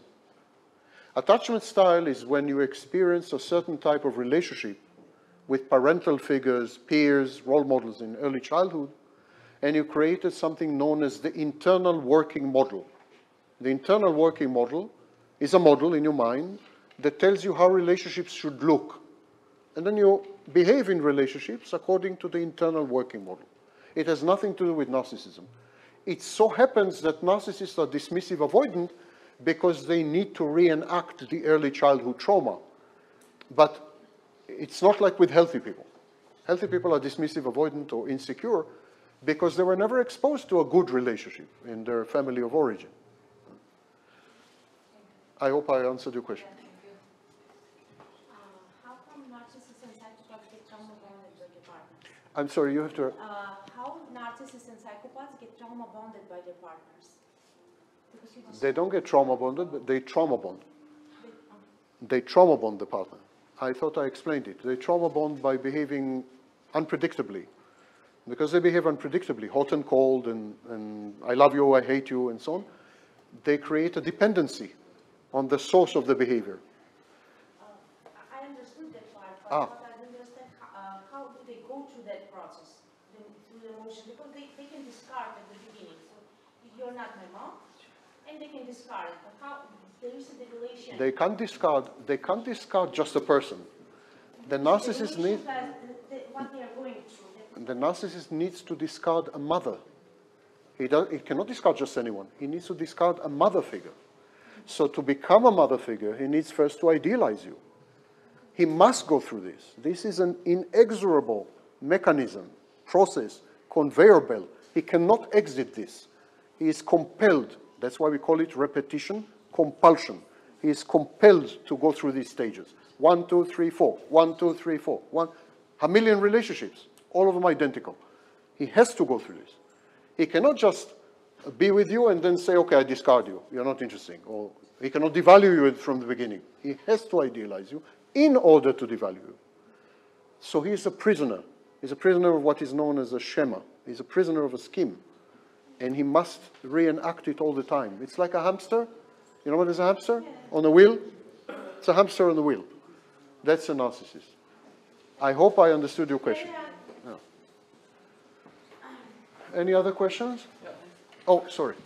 Uh, I was thinking regarding the choice uh, to be in a relationship with a narcissist. And uh, you explained this, if I understood you correctly, as a mutual gratification, intermittent uh, supply. I, I don't know what was the expression. But then, uh, since no choice is accidental, unconsciously, we choose uh, people uh, with whom we want to be in a relationship. But let's put it aside. It made me think that practically the ones who choose to be in a relationship with a narcissist are themselves also uh, narcissists in a way. No, not Maybe narcissists, but they have, um, they They definitely, have some potential. they have some problems. They, they definitely have, for example, a deficit in self-love, these people. They would have, uh, they would have a mismanagement of the self-love economy. They are either unable to love themselves except through the agency of someone else, So they can love themselves only through someone else's gaze. Or they have what we call an internalized bad object. Internalized bad object used to be known as primitive superego. Internalized bad object is a set of voices, internal voices, that tell you that you're unworthy, you're bad, you're inadequate, you're ugly, you're stupid. These internal voices. So when you come across someone who is telling you exactly the opposite, it's addictive. So many of them have internalized bad object. Um, some of them are narcissists, it's true, but I think the vast majority are more likely to be borderlines, codependents, um, or have a deficit in self-love, or something like that. Uh, attachment styles which are problematic, like insecure attachment style, and so on. I think we should focus more on this the, rather than narcissism. Yes, please. Two questions? I'll give you a discount. Yeah? Uh, You said that the narcissist, when entering a relationship, uh, he tests with the, the abusive um, behavior. I have a problem with hearing, so I'll come near you.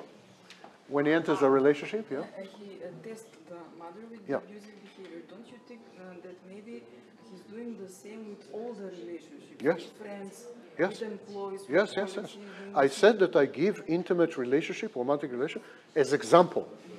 But all interpersonal relationships are identical. They all involve shared fantasy. Okay, and my second question is, uh, what do you think about the mobbers, the mobbers in the workplace, the people who are doing mobbing? Uh, do they have narcissistic uh, part? Uh, the, the lady asked about uh, mobbing, mobbing in the workplace. Uh, another phenomenon is gang stalking and so on.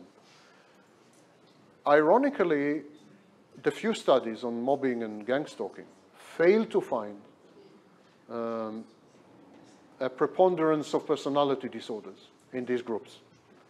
However, starting in 2020, as I mentioned, uh, studies by Gabay, if you're interested to read online, studies by Gabay and others in British Columbia as well, China and so on. Gabay conducted four studies in Israel, of all places, before, before October 7th, on, in 2020. She conducted four studies. And they, they found that narcissists and psychopaths are much more likely to be found in victimhood movements than in aggressive movements. They, they, they studied aggression versus victimhood. And they found that in aggressive movements, so these would be gangs, for example, street gangs. There are many studies on, on narcissism in street gangs. These would be paramilitary formations and militias. These would be uh, supremacists, Ku Klux Klan, these kind of people. Uh, they fail to find uh, an incidence of narcissism and psychopathy, uh, uh, narcissism, sorry, incidence of narcissism that is higher than the general population. They did find a higher incidence of psychopathy in these groups, but it was lower than the level of psychopathy among chief executive officers of big companies in the United States. I'm not kidding. These are studies by Hare, Robert Hare, and Babiak. Hare and Babiak studies.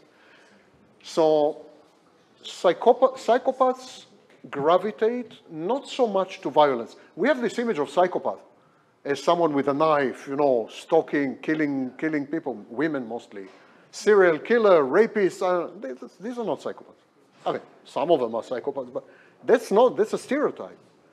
The overwhelming vast majority of psychopaths uh, appear to be normal. There was a, a scholar by the name of Hervey Cleckley. And Hervey Cleckley wrote a stunning masterpiece. Uh, it's titled The Mask of Sanity. The Mask of Sanity. It's available free online. You can download it. And in The Mask of Sanity, he makes, he makes a claim that psychopaths are wearing, wearing the mask of sanity. They appear to be sane. They appear to be completely normal, but they're mentally ill. That's Cleckley's view. It's not my view. But, and he's right about the first part. The overwhelming vast majority of psychopaths are neighbors next door, your colleagues, your friends, your, that's the overwhelming vast majority. Uh, Martha, Martha Stout wrote a book called The Sociopath Next Door about, the, about this phenomenon. And so these psychopaths gravitate to the top. They end up being top doctors, top uh, chief executive officers, top politicians, top. They, they reach the top. Uh, there were studies that the incidence of, psycho- of severe psychopathy among surgeons, medical doctors who are surgeons, is much higher than the general population. No offense, Bogo. No. Yeah, of course, normal.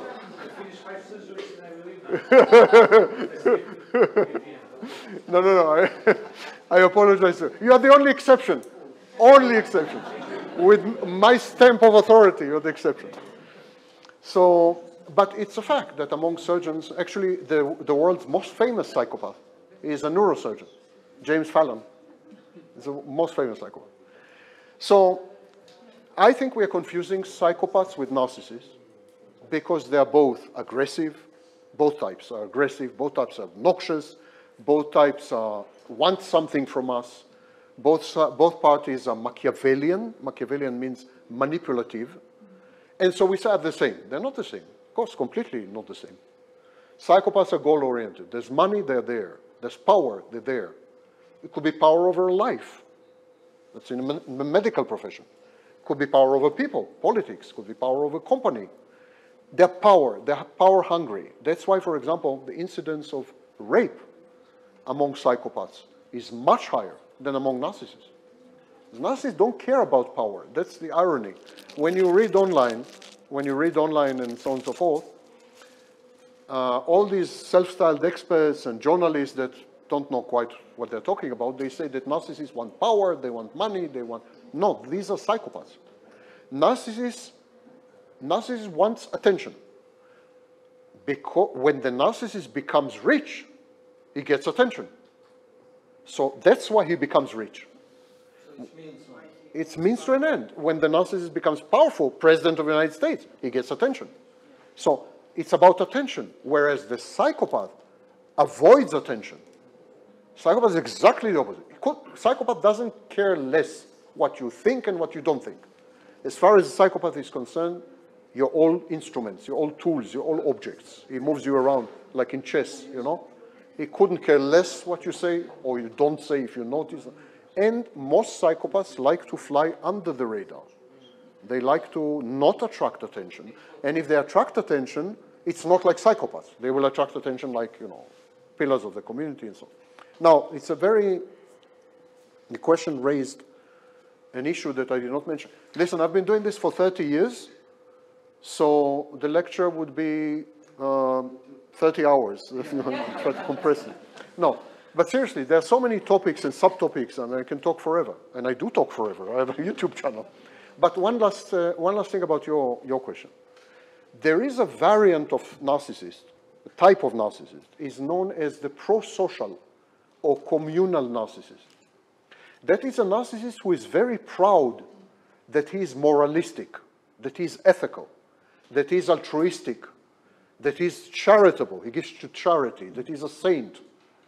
So, I don't know, someone like Mother Teresa maybe, you know, they are proud of being good, good people, but their goodness is performative, it's a performance, it's a show. They're ostentatious. If they give you charity, there will be a camera there documenting the charity. If they're being good, there will be a newspaper article tomorrow. And they are all the time moral. They are the, the standard of morality, you know. So this, this, this is a type of narcissist that is deceiving people, misleading people.